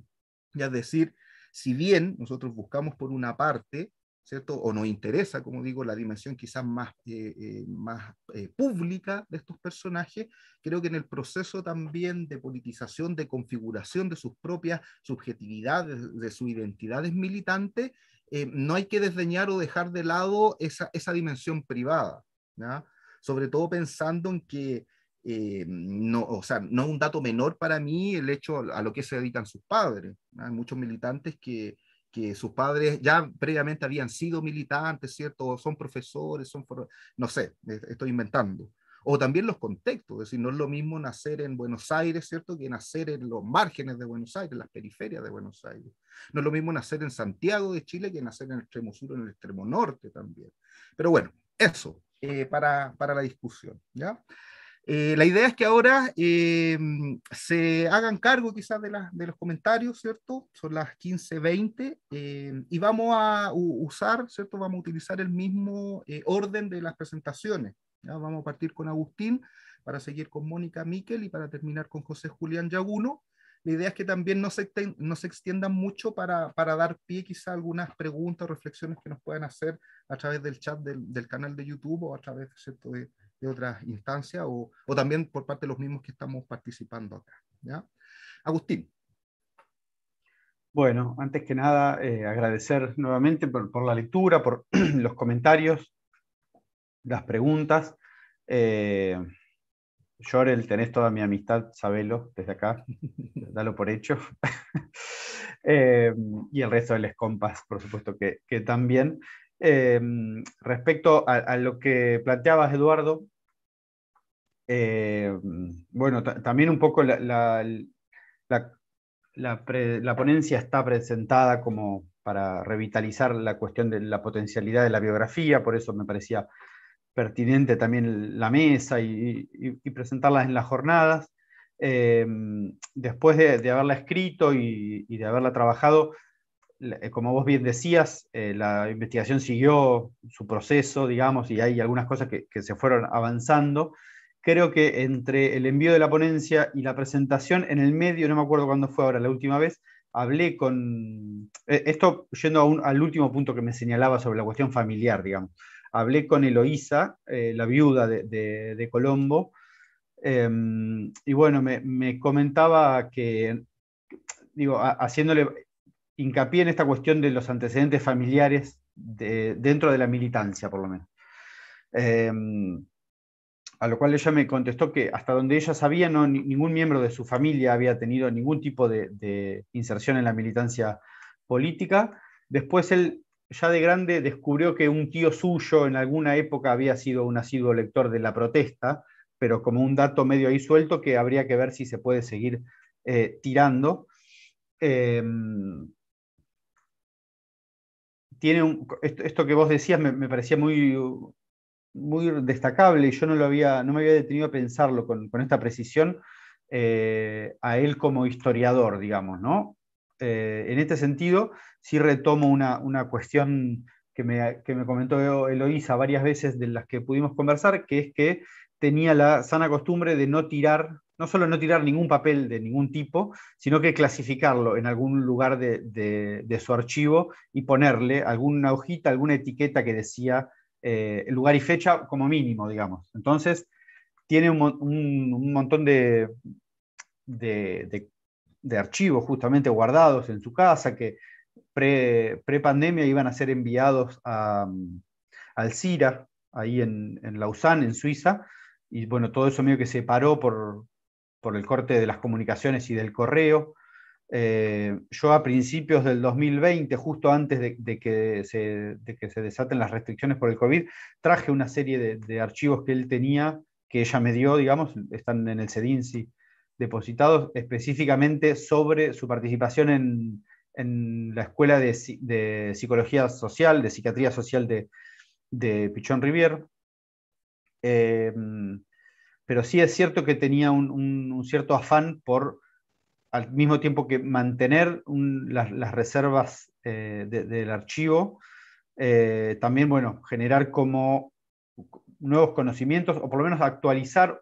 Yo creo que, su voluntad era la de brindarle cierta densidad filosófica al, anarquismo que a veces en, algunos autores aparece como un poco vago en su formulación teórica, digamos, desde los clásicos a, los contemporáneos, y me parece que ahí sí se dan una serie de, debates entre intelectuales, como vos bien decís, cierta, cierta red con, intelectuales y militantes contemporáneos a él, como pueden ser Amedeo Bertolo, Tomás Ibáñez y una serie de, otros intelectuales europeos y, americanos,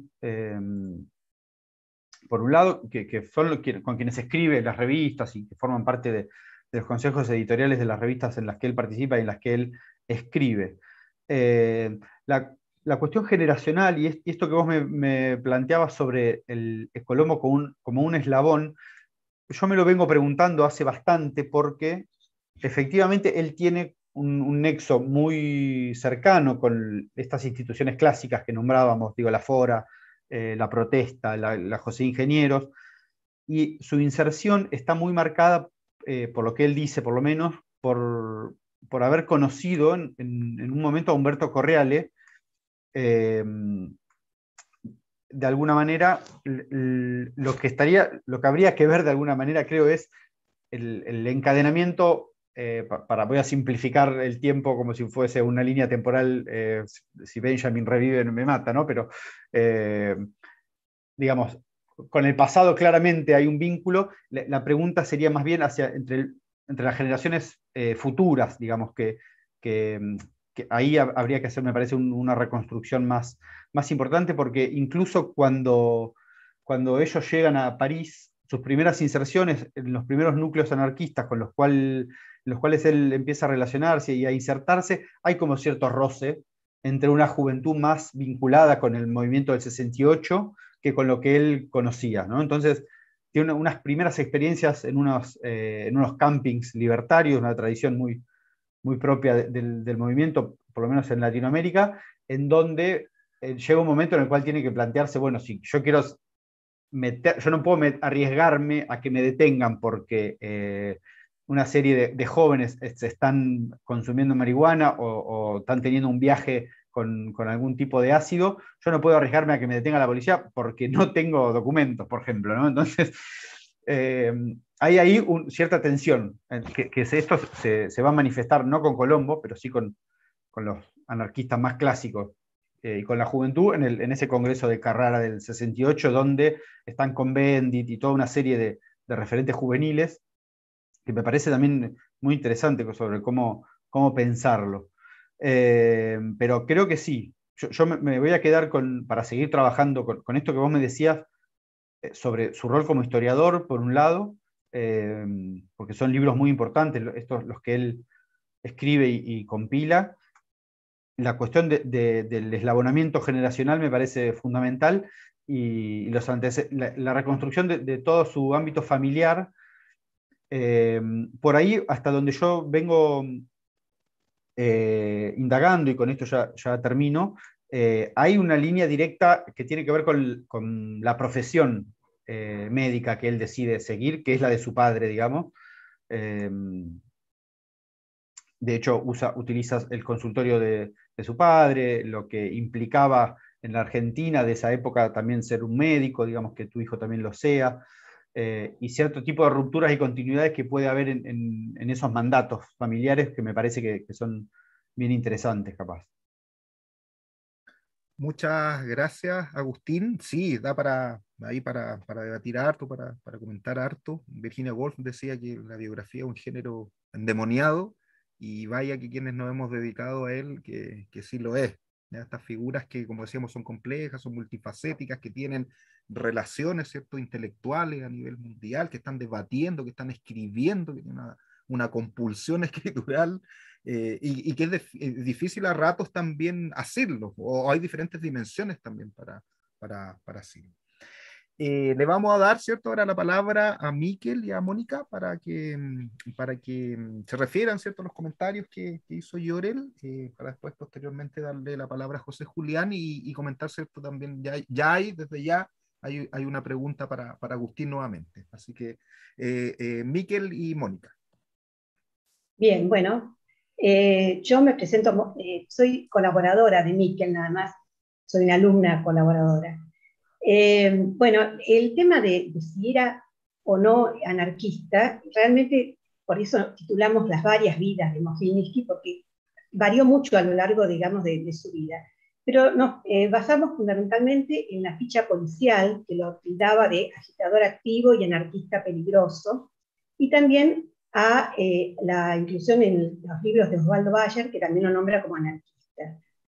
Eh, pero bueno, estas contradicciones que también le pasaban eh, en, otro, en otro caso que van a analizar después, de ser primero un obrero y luego pasar a ser patrón, ¿no? Entonces, este, justamente cuando él se hace cargo de la estancia, que es una pequeña estancia, no era grandes hacendados de la época, él se jacta de que tiene eh, no peones, sino obreros, y que la casa en donde viven es de material y tiene cuatro habitaciones. O sea, digamos, se hace eh, cargo de sus ideas eh, y de sus luchas contra los hacendados, que fueron justamente las causas de, las huelgas.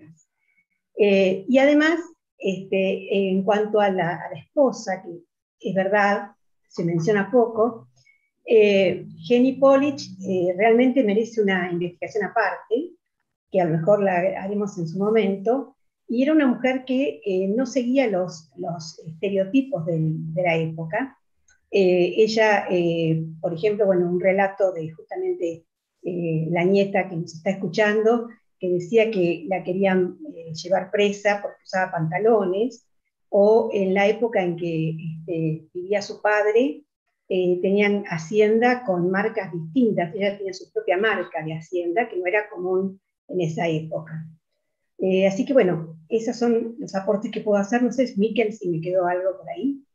Sí, eh, yo creo que es interesante esta cuestión de si él era anarquista, pero me gustó también lo que dijiste después, Jorel, que si hace importancia realmente si era anarquista o esta cuestión de que podía hacerlo en algún momento.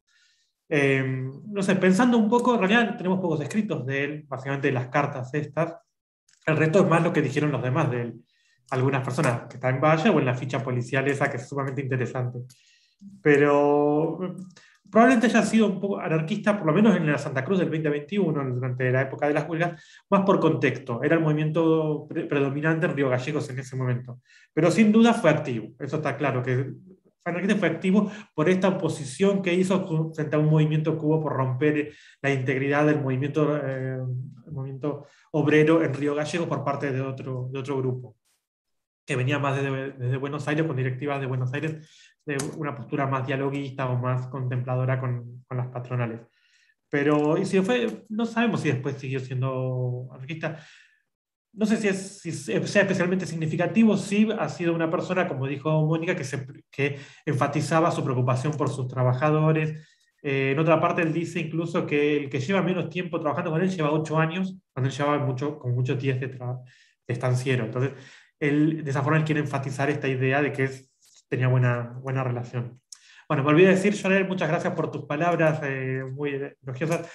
Te, agradezco mucho. Nosotros no, no, somos especialistas en estas temáticas. Yo soy arqueólogo prehistórico para más otro palo totalmente distinto que en los cuales hacer una biografía, yo hago arqueología patagónica, bueno, arqueología patagónica, hacer una biografía de ciencia ficción, en esos términos, trabajamos con, con eh, registros promediados de cientos miles de años, así que una biografía un individuo es ciencia ficción, pero me pareció sumamente interesante este caso, poder encarar este caso con esta idea de, de conocer lo que vos también enfatizaste, la idea de las biografías, las biografías menores, recuperar eso a través de esta pequeña y se vincula en parte con algo que vos preguntaste, ¿por qué sabemos poco sobre, sobre Pedro? Y aquí está bien una discusión que se puede armar en relación, en parte, Pedro en, perteneció más a un grupo más vinculado al juez, al juez eh, Ismael Viñas, eh, que fue como otra corriente que en la primera huelga estuvo a favor de los obreros, en la segunda ya no tanto, y que y, por ahí que no fue la línea que apoyó Valle en sus obras. Digamos, Bayer en su obra rescató más la figura de Antonio Soto y según Ismael Viñat, hijo, el, padre, el hijo del juez, que también fue un intelectual marxista muy importante, hermano de David Viñas, el escritor, eh, él decía fue una cuestión como de internas ahí entre una línea un poco más radical que representaba Ismael Viñas padre y Bayer una línea más anarquista. Y después unas cuestiones internas de pelea entre el grupo Contorno y Bayer, había una cuestión ahí más de tipo personal de cada 60-70 entre Bayer y, y, los Villas, en cierta, cierta forma. Y que por eso Bayer no prestó tanta atención a algunos otros dirigentes menores que hubo en Santa Cruz, como bueno, eh, Pedro Mojilniski, pero también, por ejemplo, la, que es una imagen, una persona también para trabajar eventualmente, que es la esposa del juez Viñas, Esther Porter, que por ahí, eh, según Viñas, bueno, tuvo un rol más importante del que le dio Bayer en su obra, en lo que fue la, la huelga. Eh, y en cuanto al rol de las familias, también es interesante, cuando ocurren las huelgas, o sea, la etapa más activa políticamente de, de que bueno, no tenía familia, no sabemos su relación, que, que, más allá de algunas cartas, que él menciona cartas con su familia, se ve que tenía un trato bastante fluido, su carta se escribía a su madre, no a su padre, eso lo, lo aclara, eh, y esta cuestión de, de, que él estaba bastante al tanto de lo que ocurría, como cuando les van a decir que les van a, a, a quitar unas propiedades, pero no sabemos qué pasó si, tuvo, si mantuvo vínculo con otros grupos dentro de lo que fue Rusia. En, la ficha policial sí se menciona que antes de Argentina él estuvo en Suiza y que fue echado de, Rusia, de, Suiza. si tuvo una etapa previa a la Argentina, que no lo sabemos, no lo sabemos excepto esa referencia en la ficha policial, que tampoco está claro el origen de esa ficha policial, ha seguido, ha probablemente ha tenido una ah, postura activa también en Suiza. Pero no, no es más que eso, es una línea de un ovillo que no sé si podemos tirar demasiado, lamentablemente. Eh, entonces, en ese sentido, lamentablemente creo que no tenemos demasiado, sí, algunas líneas que habrá que ver, pero creo que, que no.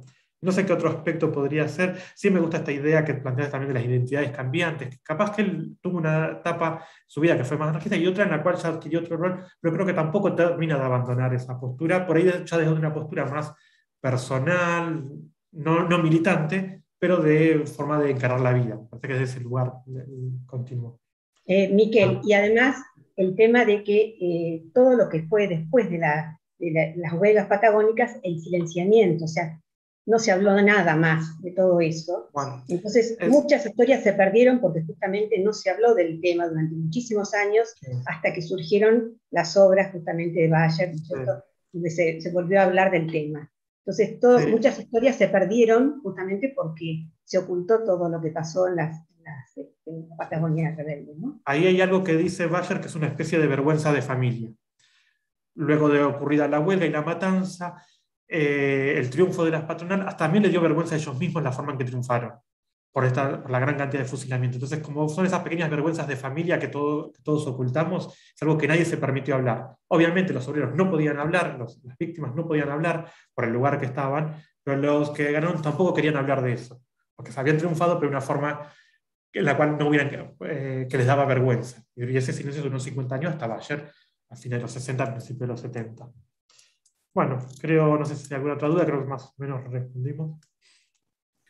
Muchas gracias, Miquel y Mónica, por sus precisiones. Eh, eh, comentar que en el chat del canal de YouTube, ¿cierto? Nos saluda Diego Mellado, María Josefina Lamaizón, eh, Julio Moyano, y de hecho María Josefina le deja una pregunta que la voy a leer para que Agustín la vaya pensando, ¿cierto? Dice, para Agustín, en la biografía de Eduardo Colombo registraste cruces o vínculos con el grupo ECRO, Grupo de Trabajadores Social e Intelectual Argentino, inspirado en las ideas de eh, ahí para que, para que lo tenga.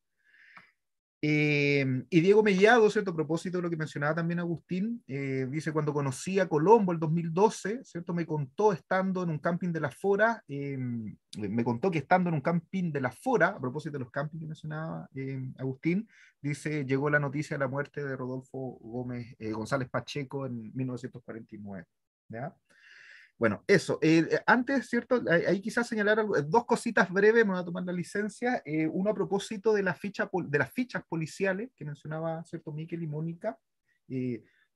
Y, también a propósito de, los cambios de, de postura, ¿ya? Es decir, de político-ideológica. el, tema de las fichas, es decir, eh, porque en, muchos casos también eh, estas trayectorias, es decir, o estas figuras, ¿cierto? Han, eh, han sido, la distorsión que existe en torno a estos personajes tiene que ver precisamente con la visión que se construye desde su opositor o desde el poder, ¿cierto? Se quiere plantear en esos términos. Y en muchos casos, producto que, que fueron sujetos, ¿cierto? Hombres y mujeres que fueron perseguidos por el Estado, por las clases dominantes, a rato lo que conocemos de ella esta visión distorsionada y criminalizada. Eso no quiere decir que desdeñemos los, los archivos judiciales, desdeñemos, ¿cierto? Esta, estas caracterizaciones, descripciones que se hacen desde los aparatos represivos, porque en muchos casos, y yo ahí no pienso para el caso chileno, mejores descripciones que tenemos, la que eh, ha hecho precisamente la policía en ese sentido, muchos datos, ¿cierto? Para precisar algunos datos, el, el, tema de los procesos judiciales, ¿ya? Y lo otro también, es decir, en, a ratos, el, a propósito de, de, estudios biográficos, a propósito de, eh, de estudios ¿cierto? sobre el anarquismo del cruce entre, entre ambos, eh, creo que también es un error pensar, ¿cierto?, las, eh, las identidades políticas, se quiere plantear en esos términos, de forma estática. ¿no? Es decir, eh, eh, a rato, ¿cierto?, pensamos que alguien que milita en el anarquismo, ¿cierto?, eh, tiene que militar toda su vida dentro del anarquismo. Es decir, eh, también eh, las trayectorias político-ideológicas son mucho más complejas. En el caso chileno hay algunos eh, renombrados anarquistas de la década del 30, de la Confederación General ¿cierto? De, de, Trabajadores de la CGT chilena, fundada en el año 31, que termina, uno de ellos en lo particular, termina siendo el instructor del grupo nacionalista, ¿cierto? Filofascista Patria, Patria y Libertad, en la, década, en la década del 70, durante el gobierno Salvador Allende. ¿ya? O algunos transitan desde el socialismo fochista vinculado con el marxismo hacia el anarquismo.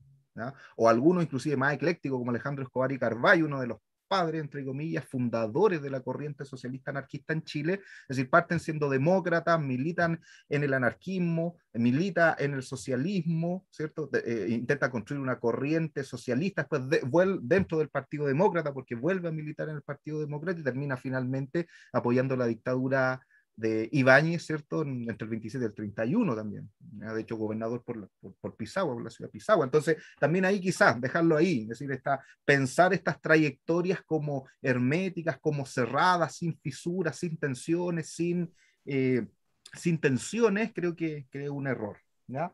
Bueno, dicho eso, le vamos a dar eh, la palabra a... Un, un, de, un, detalle que eso que sí viene a cuento de algo que también dijo Llorer en cuanto a ver estas biografías un poco más humanas, no tan gloriosas, que en la Patagonia Rebelde, a partir de la obra de, de se ha construido también una imagen muy mítica de estos eh, dirigentes, muy como grandes héroes, negando también las contradicciones que ellos mismos tuvieron, los conflictos, las dudas que tuvieron. A ver, no, no todos la tuvieron tan, tan fácil y seguramente su, las ciertas decisiones que tomaron fueron en base al miedo o pudieron retroceder en algún momento, pero se ha construido también una imagen muy monolítica, muy de héroes, y nos estamos poniendo a los hombres detrás, que es un Antonio, Antonio Soto, un Facón Grande, son gente que dudó por momentos de que si estaban haciendo lo correcto.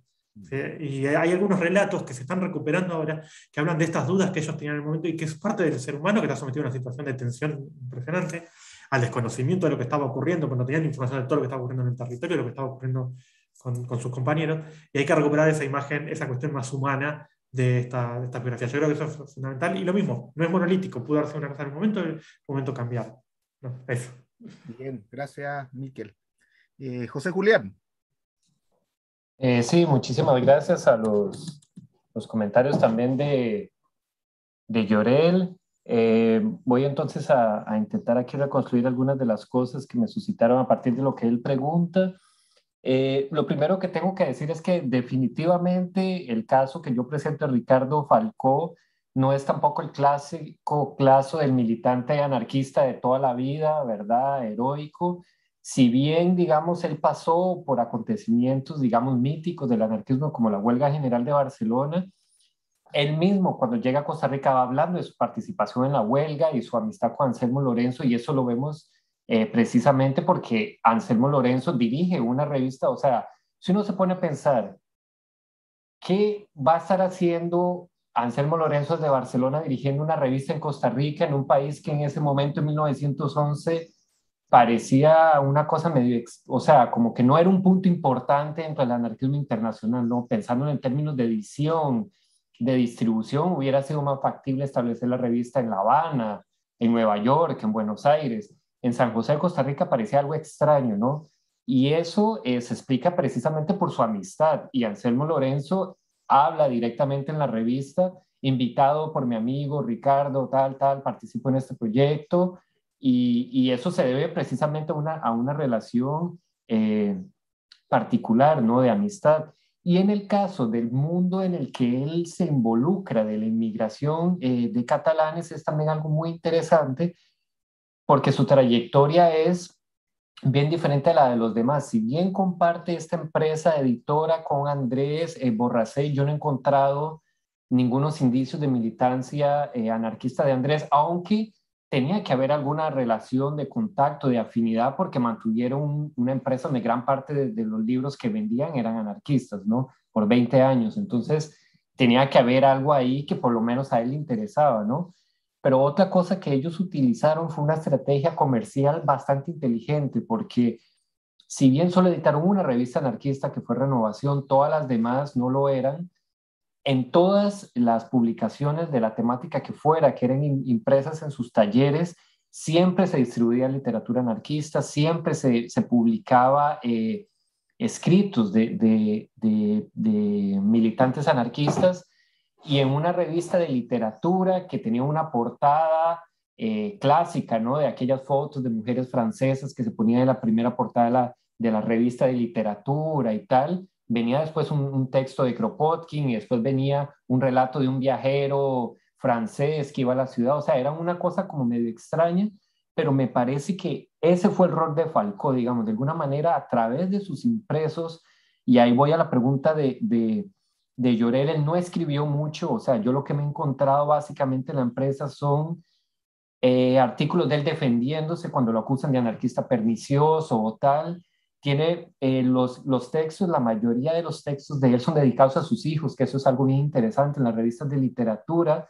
Él publica varios de los eh, varios textos de poesía dedicados a sus hijos, fotografías de sus hijos. Yo tengo precisamente, porque él publica en, un homenaje, digamos, a la escuela moderna, publica las fotos de sus mismos hijos.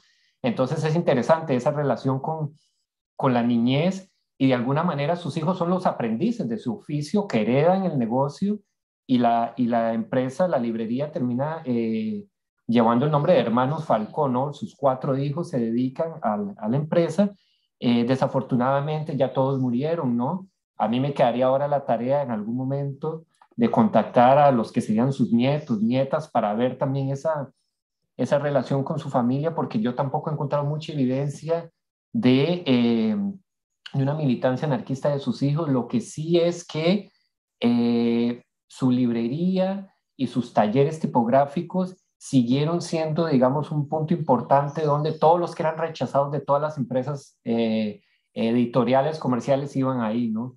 O sea, los primeros números del, del periódico del Partido Comunista, trabajos se editaron en, la, en la tipografía de los hermanos Falcó, Revolución, que fue un periódico antecedor al, antecesor al, Partido Comunista también se editó. Inclusive yo he podido revisar los, los, las actas del Comité Central del Partido Comunista que se fundó en 1931, donde se menciona a Ricardo Falcó como uno de los financiadores del, periódico del Partido Comunista y se dice que si bien él no es militante y por sus ideas ácratas no va a formar parte de la estructura del partido, siempre es un amigo, digamos, del, del partido. Entonces, en su casa también se reúnen eh, personas intelectuales, se decía que yo me encontré los, los planos de, de, la arquitectura de su casa, que es algo bien interesante, porque además su casa estaba en el barrio burgués tradicional de la ciudad de San José, donde, eh, o sea, a pocas cuadras de su casa vivían los banqueros, los presidentes, los cafetaleros exportadores. Entonces era un caso bien, bien extraño de un inmigrante catalán anarquista que tiene una librería en su casa, en un barrio burgués, digamos, eh, donde vivían la mayoría de, de, posiblemente incluso de los patrones eh, de los obreros con los que él participaba en, las huelgas, ¿no? Eh, entonces, su intervención fue sobre todo como su labor de, editor, pero digamos, mi hipótesis es que leer la biblioteca sociológica y los autores que escoge Falcó publicar nos da una idea de qué tipo de anarquismo y qué tipo de estaba pensando él, ¿no? Y como por eso mencioné algunos de los nombres, fundamentalmente vienen de España, con la familia Monseni, eh, y ahí voy al tema de la, de la correspondencia. Eh, con la familia Monseni eh, tenía una relación bastante estrecha porque, como dije, él era el distribuidor comercial de la revista Blanca y de la novela Ideal. y además porque en lo que yo he podido encontrar de la correspondencia son cartas que él mismo publica en la prensa. Entonces, en los periódicos editaba una carta de Federico Urales donde decía, compañero Ricardo, acá estoy enviando tal cosa y tal otra, con Adrián del Valle la misma cosa. Cartas de Kropotkin sobre la Primera Guerra Mundial también se dieron de esa manera. Entonces no tenemos las cartas físicas, digamos, de un archivo familiar que esperemos que existan, pero sí eh, a través de la prensa es donde yo me he podido encontrar de que efectivamente había un, un contacto directo. Incluso él mismo, en algunas de, sus, de las reseñas que hacen algunos de sus compañeros, él dice en la campaña de persecución de Malatesta en los años 20, por ejemplo, él mismo dice, mi amigo Malatesta con el que escribí tal y tal, y dos semanas después en el, en el periódico editado por él hay textos de Malatesta, entonces a mí me hace pensar que efectivamente había una relación directa con Malatesta y con Luigi Fabri. Entonces, bueno, sería una mina de oro encontrar esas cartas. Yo las únicas que he podido encontrar son las de Kropotkin, como les mencioné, y algunas eh, cartas en el archivo de Neclo que están en Ámsterdam precisamente eh, de renovación, invitando a Neclo a escribir en la revista y tal. Son como las únicas eh, directamente cartas físicas que he visto, ¿no? Pero sería interesante ver esto. y por último, el rol de la familia, como, como les digo, es algo que todavía hay que hay que, digamos, como que investigar más, pero sí yo por el, el tipo de textos que él empieza a citar en los 20 y en los 30, me parece, no sé si llegó a ser, como digo yo, un confeso comunista, pero sí simpatizaba con la República de los Soviets, participó en muchos mitines, incluso cuando murió Lenin, él fue orador en una de, los, de las actividades, digamos, en conmemoración de, de Lenin, y uno va notando la, el tipo de textos que, que van apareciendo en la biblioteca que él vende y efectivamente eh, van apareciendo más textos eh, sobre Rusia. Y pues una de las cosas que me interesa a mí mucho profundizar también sería su papel durante la Guerra Civil Española, ¿no? Porque leyendo los periódicos de la FAI y de la CNT, me encontré cosas muy interesantes como que, por ejemplo, eh, la comunidad de, inmigrantes españoles mandó una ambulancia desde Costa Rica al, al frente norte de la CNT, ¿no? o sea, enviaron el dinero para comprar una ambulancia ya, víveres, tabaco, etcétera. Entonces me hace pensar, eh, precisamente por las intervenciones de Falcó en la Sociedad de Beneficencia Española y todo, que él estaba ahí, aunque no me he encontrado eh, escritos directos de él, ¿no? Pero sí sé que anarquistas que habían estado vinculados al proceso de la CAT en Buenos Aires en Costa Rica participaron precisamente del grupo de apoyo a la República Española, ¿no? En una especie de frente antifascista en común con otros. Y para terminar, me parece que la trayectoria de Falcó y del movimiento ácrata costarricense está mucho en sintonía y se parece bastante a lo que Llorel ha planteado en sus trabajos de Puerto Rico, ¿no? O sea, tenemos muchos militantes que entran en los partidos políticos, incluso Falcó va a ser miembro del Partido Reformista, que es una experiencia de de partido laboral, ¿no? Que incluso ellos dicen que el anarquismo eh, fue uno de los grandes impulsores del partido, aunque años antes habían estado totalmente opuestos a formar cualquier tipo de partido político y va transitando por una serie de organizaciones mutualistas. Él mismo es patrón también, porque su taller crece y él mismo tiene operarios en su casa trabajando para él, ¿no? Entonces va transitando por, por, por muchos lugares y realmente nos da una riqueza, digamos, de, de biografía y nos deja, digamos, nos da algunas entradas para conocer también este, este movimiento que aunque muchos de ellos y ellas mismas eh, hablaban de una especie de purismo ideológico, cada vez que lo vemos más de cerca nos damos cuenta que en realidad era, era más complejo. O sea, si en el siglo XXI estamos más o menos en las mismas, ¿no? O sea, creo que ninguno de los que está en este momento podría decir, ah, yo pienso exactamente igual a como lo pensé y tal vez no deberíamos hacerlo, ¿no? O sea, ¿por qué deberíamos achacarle a algún militante de hace 100 años que tenga que permanecer más o menos una especie de ruta lineal de consolidación ideológica cuando sabemos que la vida humana es más complicada que eso, ¿no? Entonces, pues bueno, muchas gracias por, las, por los comentarios y por, compartir aquí este espacio. Muchas gracias, eh, José Julián. Eh, todavía nos quedan algunos minutitos para seguir ahí conversando. el bloque 2, ¿cierto? De esta mesa número 1 parte a las cuatro y media. Em, yo quería señalar algunas cosas quizá ahí para, eh, para, para, poner en diálogo ¿cierto? algunas cosas que, que han venido saliendo. Eh, una, sin duda, es decir, para poder reconstruir estas trayectorias, la importancia de los archivos, archivos de diversos tipos.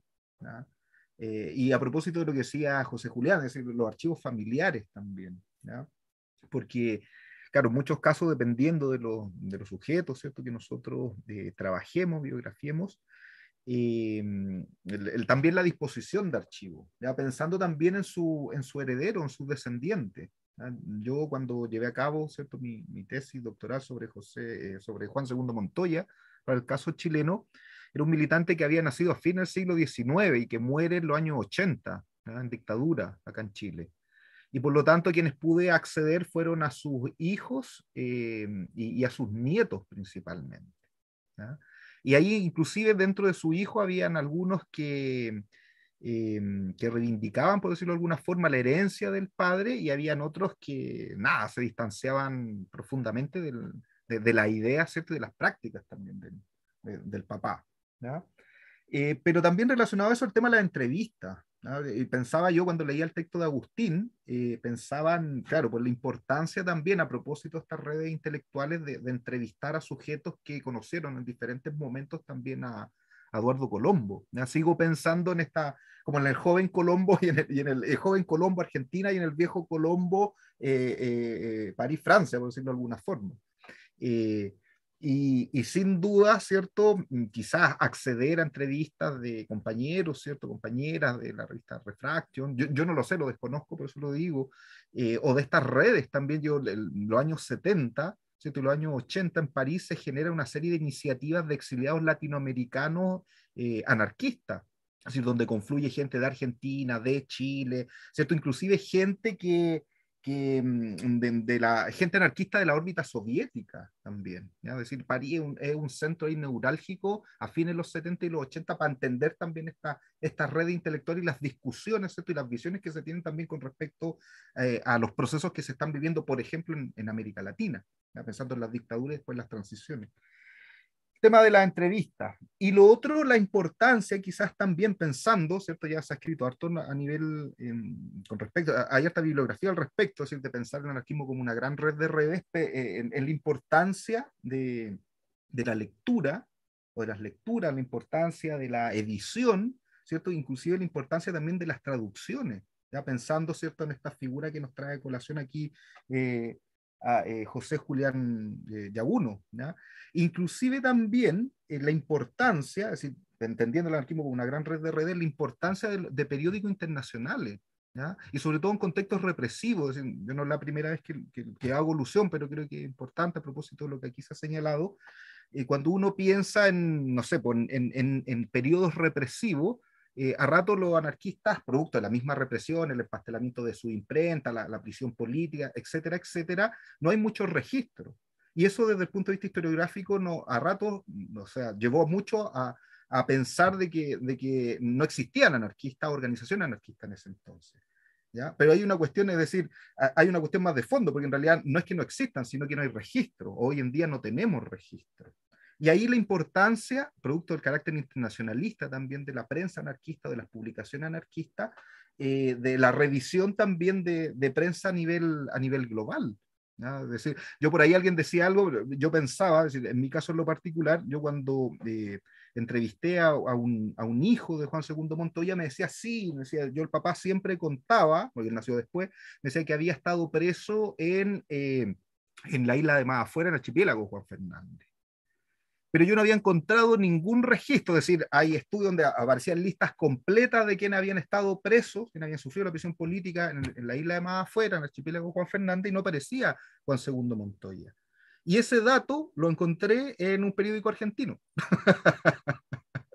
Ni siquiera en un periódico chileno. Entonces también la importancia de decir de, la prensa internacional. Bueno, eso, para que, son, van, son, quedan dos minutos para las cuatro, pero nos podemos extender ahí uno hasta las cuatro y cuarto quizás para no abusar del tiempo de, de todo, si es que, si es que así se, se estima.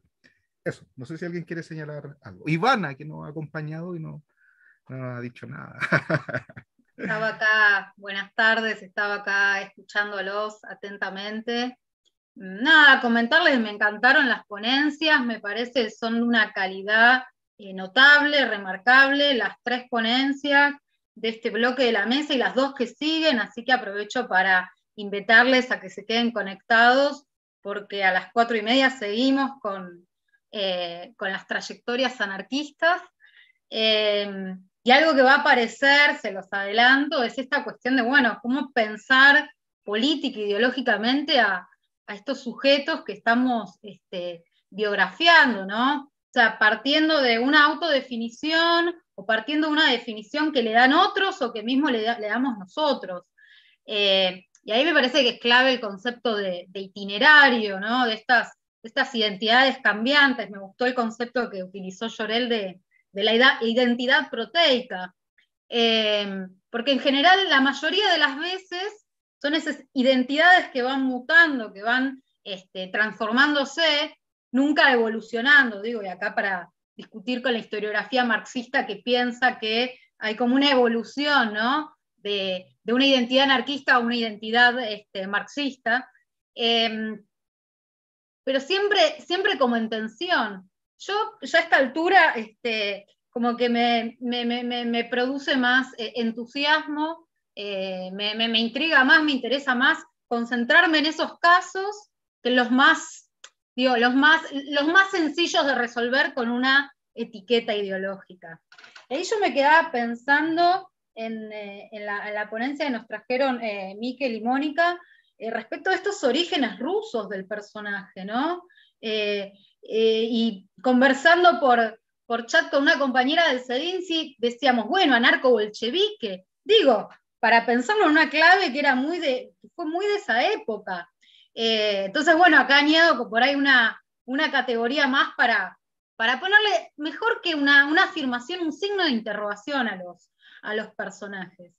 Eh, eso y invitarlos a aprovechar el, espacio y aprovechar el trabajo, el arduo trabajo que supone elaborar una, una biografía, a, hacer también sus colaboraciones al, al diccionario biográfico de las izquierdas latinoamericanas del CEINSI, que un poco, un poco impulsó eh, la temática de, la presente convocatoria de las, de las jornadas. Yo creo que las tres, las tres ponencias, digamos, retoman mucho de nuestras propias preocupaciones que nos planteamos en el diccionario, esto de, bueno, de pensar de forma compleja los personajes que biografiamos, de pensar la dimensión pública y la dimensión privada como una como la, contracara de esa dimensión pública, sin, la cual nos explica esa militancia, de, pensar las torsiones, las contradicciones, los, giros, los rumbos, eh, más que una biografía eh, lineal y por supuesto alejada de, eh, la hagiografía, ¿no? Entonces, hacerles esta,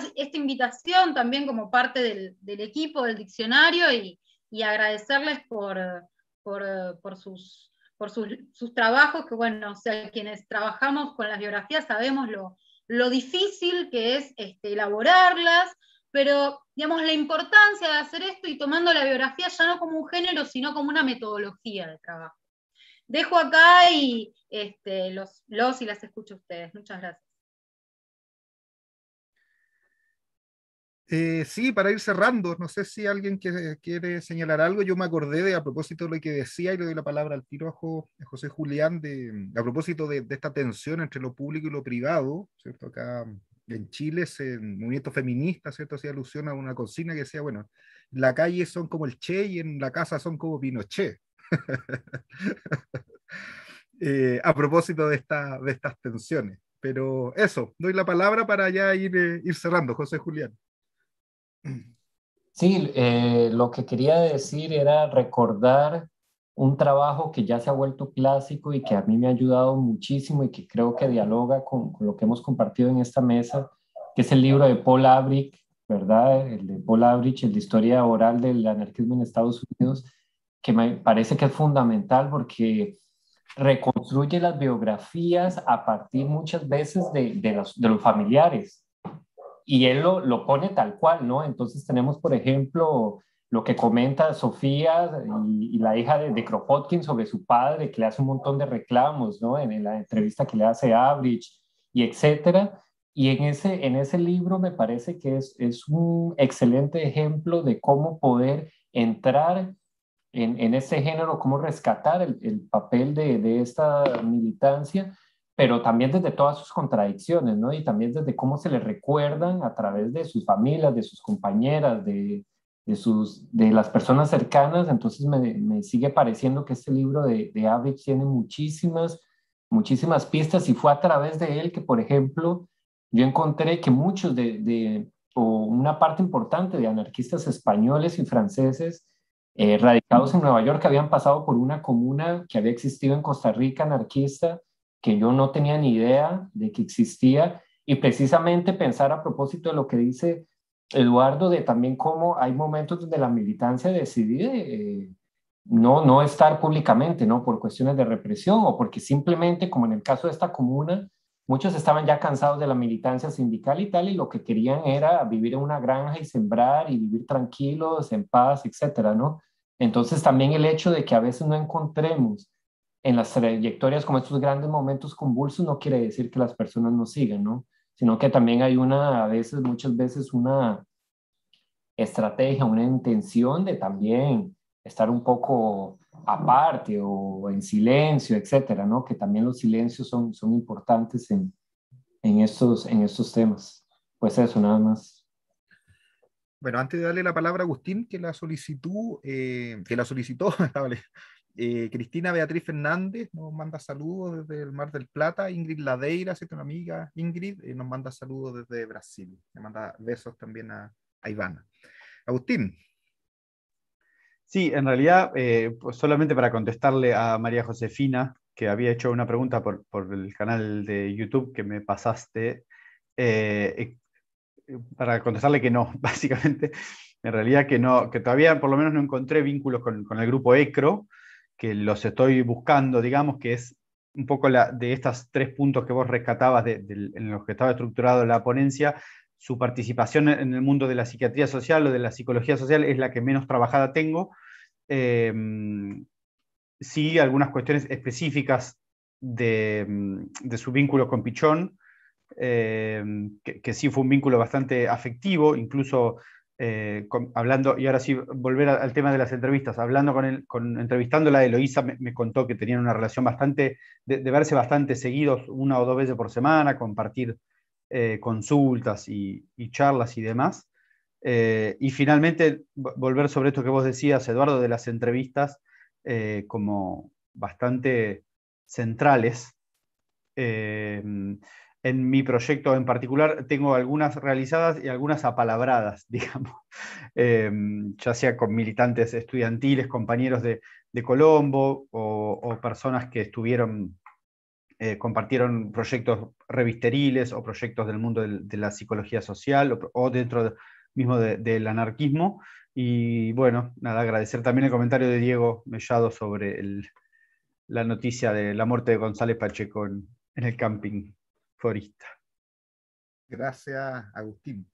Sí, ayer en realidad mientras eh, yo había leído tu, tu presentación, tu, tu, documento, el documento escrito, y, y conversé con Diego, ¿ya? porque yo me acordaba, recordaba que, que, él había tenido la oportunidad de conocerlo en San Imier en 2012 y ahí compartimos es decir, varias, varias impresiones. Yo cuando vino a Chile, ¿cierto? también en los 2000, no tuve la oportunidad de, de verlo, eh, pero sí lo he leído, no le he seguido su trayectoria, ahora me da muchas más ganas de, de, seguir su trayectoria y leerlo mucho más, de, forma mucho más, más profusa.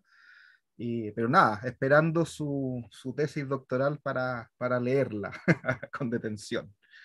Eh, no sé si eh, Miquel, Mónica, Llorel quieren señalar algo para irnos despidiendo, ya quizás. Bueno, yo quisiera bueno, saludarlos, agradecerlos, felicitarlos por la organización. Realmente creo que salió muy buena la, todo, todo, este, este ciclo de, de, de, conversaciones sumamente interesantes, muy ilustradoras para por ahí con Mónica, que no, somos especialistas de estas temáticas salimos con un montón de ideas interesantes para, para continuar. Bueno, agradecer y quería bueno, agradecer y felicitarlos, realmente espectacular todo. Yo igualmente aprovecho para, para hacer eco de las palabras de Miquel y felicitar a todos por, por excelentes presentaciones y trabajo. Eh, me vuela la cabeza que arqueólogos estén produciendo este calibre biográfico e histórico. En parte me alegra porque yo tengo una guerra en contra de la disciplina de la historia, en algún momento la aboliremos también, eh, entonces creo que hay que empezar a pensarla de estas multiplicidades. Y en parte mi, mi, pregunta sobre si era anarquista o no era una provocación, eh, porque me parece que, que, como todos mencionaron, eh, eh, se torna irrelevante cuando vemos las complejidades de estas subjetividades. y a mí me parece que también el, el, trabajo es un ejemplo de cómo este momento en el 20 y el 21 tiene un impacto en las vidas de estas personas que sobrevivieron eh, más allá del evento. Entonces son como las secuelas de, la Patagonia trágica y demás que me parece súper interesantes y a manera anecdótica, yo comencé mi trabajo de la historia obrera porque vengo de un hogar obrero eh, de abuelos, bisabuelos, me crié con mis abuelos eh, y era en parte para honrar su memoria y luego en una conversación me di cuenta que aunque yo hacía historia anarquista, ellos eran los que estaban al otro lado ellos vienen de una larga tradición de rompehuelgas. Entonces ellos estaban muy orgullosos de su tradición rompehuelgas, pero no le quitaba eh, esas realidades de, explotación, opresión que vivieron en el cañaveral, en, la fábrica de tabaco. Entonces a mí me ayudó mucho a pensar la complejidad de, estos mundos que, habitaron estas personas y nada, eh, simplemente agradecerles nuevamente que me dieran la oportunidad de leer sus trabajos y, felicitarles a todos. Muchas gracias, eh. Y Nadia Ledesma Prieto nos deja también comentarios en el canal de YouTube, dice felicitaciones, excelentes trabajos, ¿cierto? Felicito a ustedes. y comentarios, ¿ya? Bueno, nada, eh, dejarlo invitado, como decía eh, Ivana, ¿cierto? Para el segundo bloque de esta mesa, ¿cierto? Que parte a las 16.30 eh, y nos acompañan, ¿cierto? Nos van a acompañar en esta oportunidad Renata Cotrim de, Brasil y Iván Tomás Leite de Oliveira también desde Brasil. Nada, que siga el diálogo, que sigan las conversaciones y que sigamos eh, publicando, ¿cierto? Escribiendo estas esta historias eh, olvidadas. ¿ya? Eso.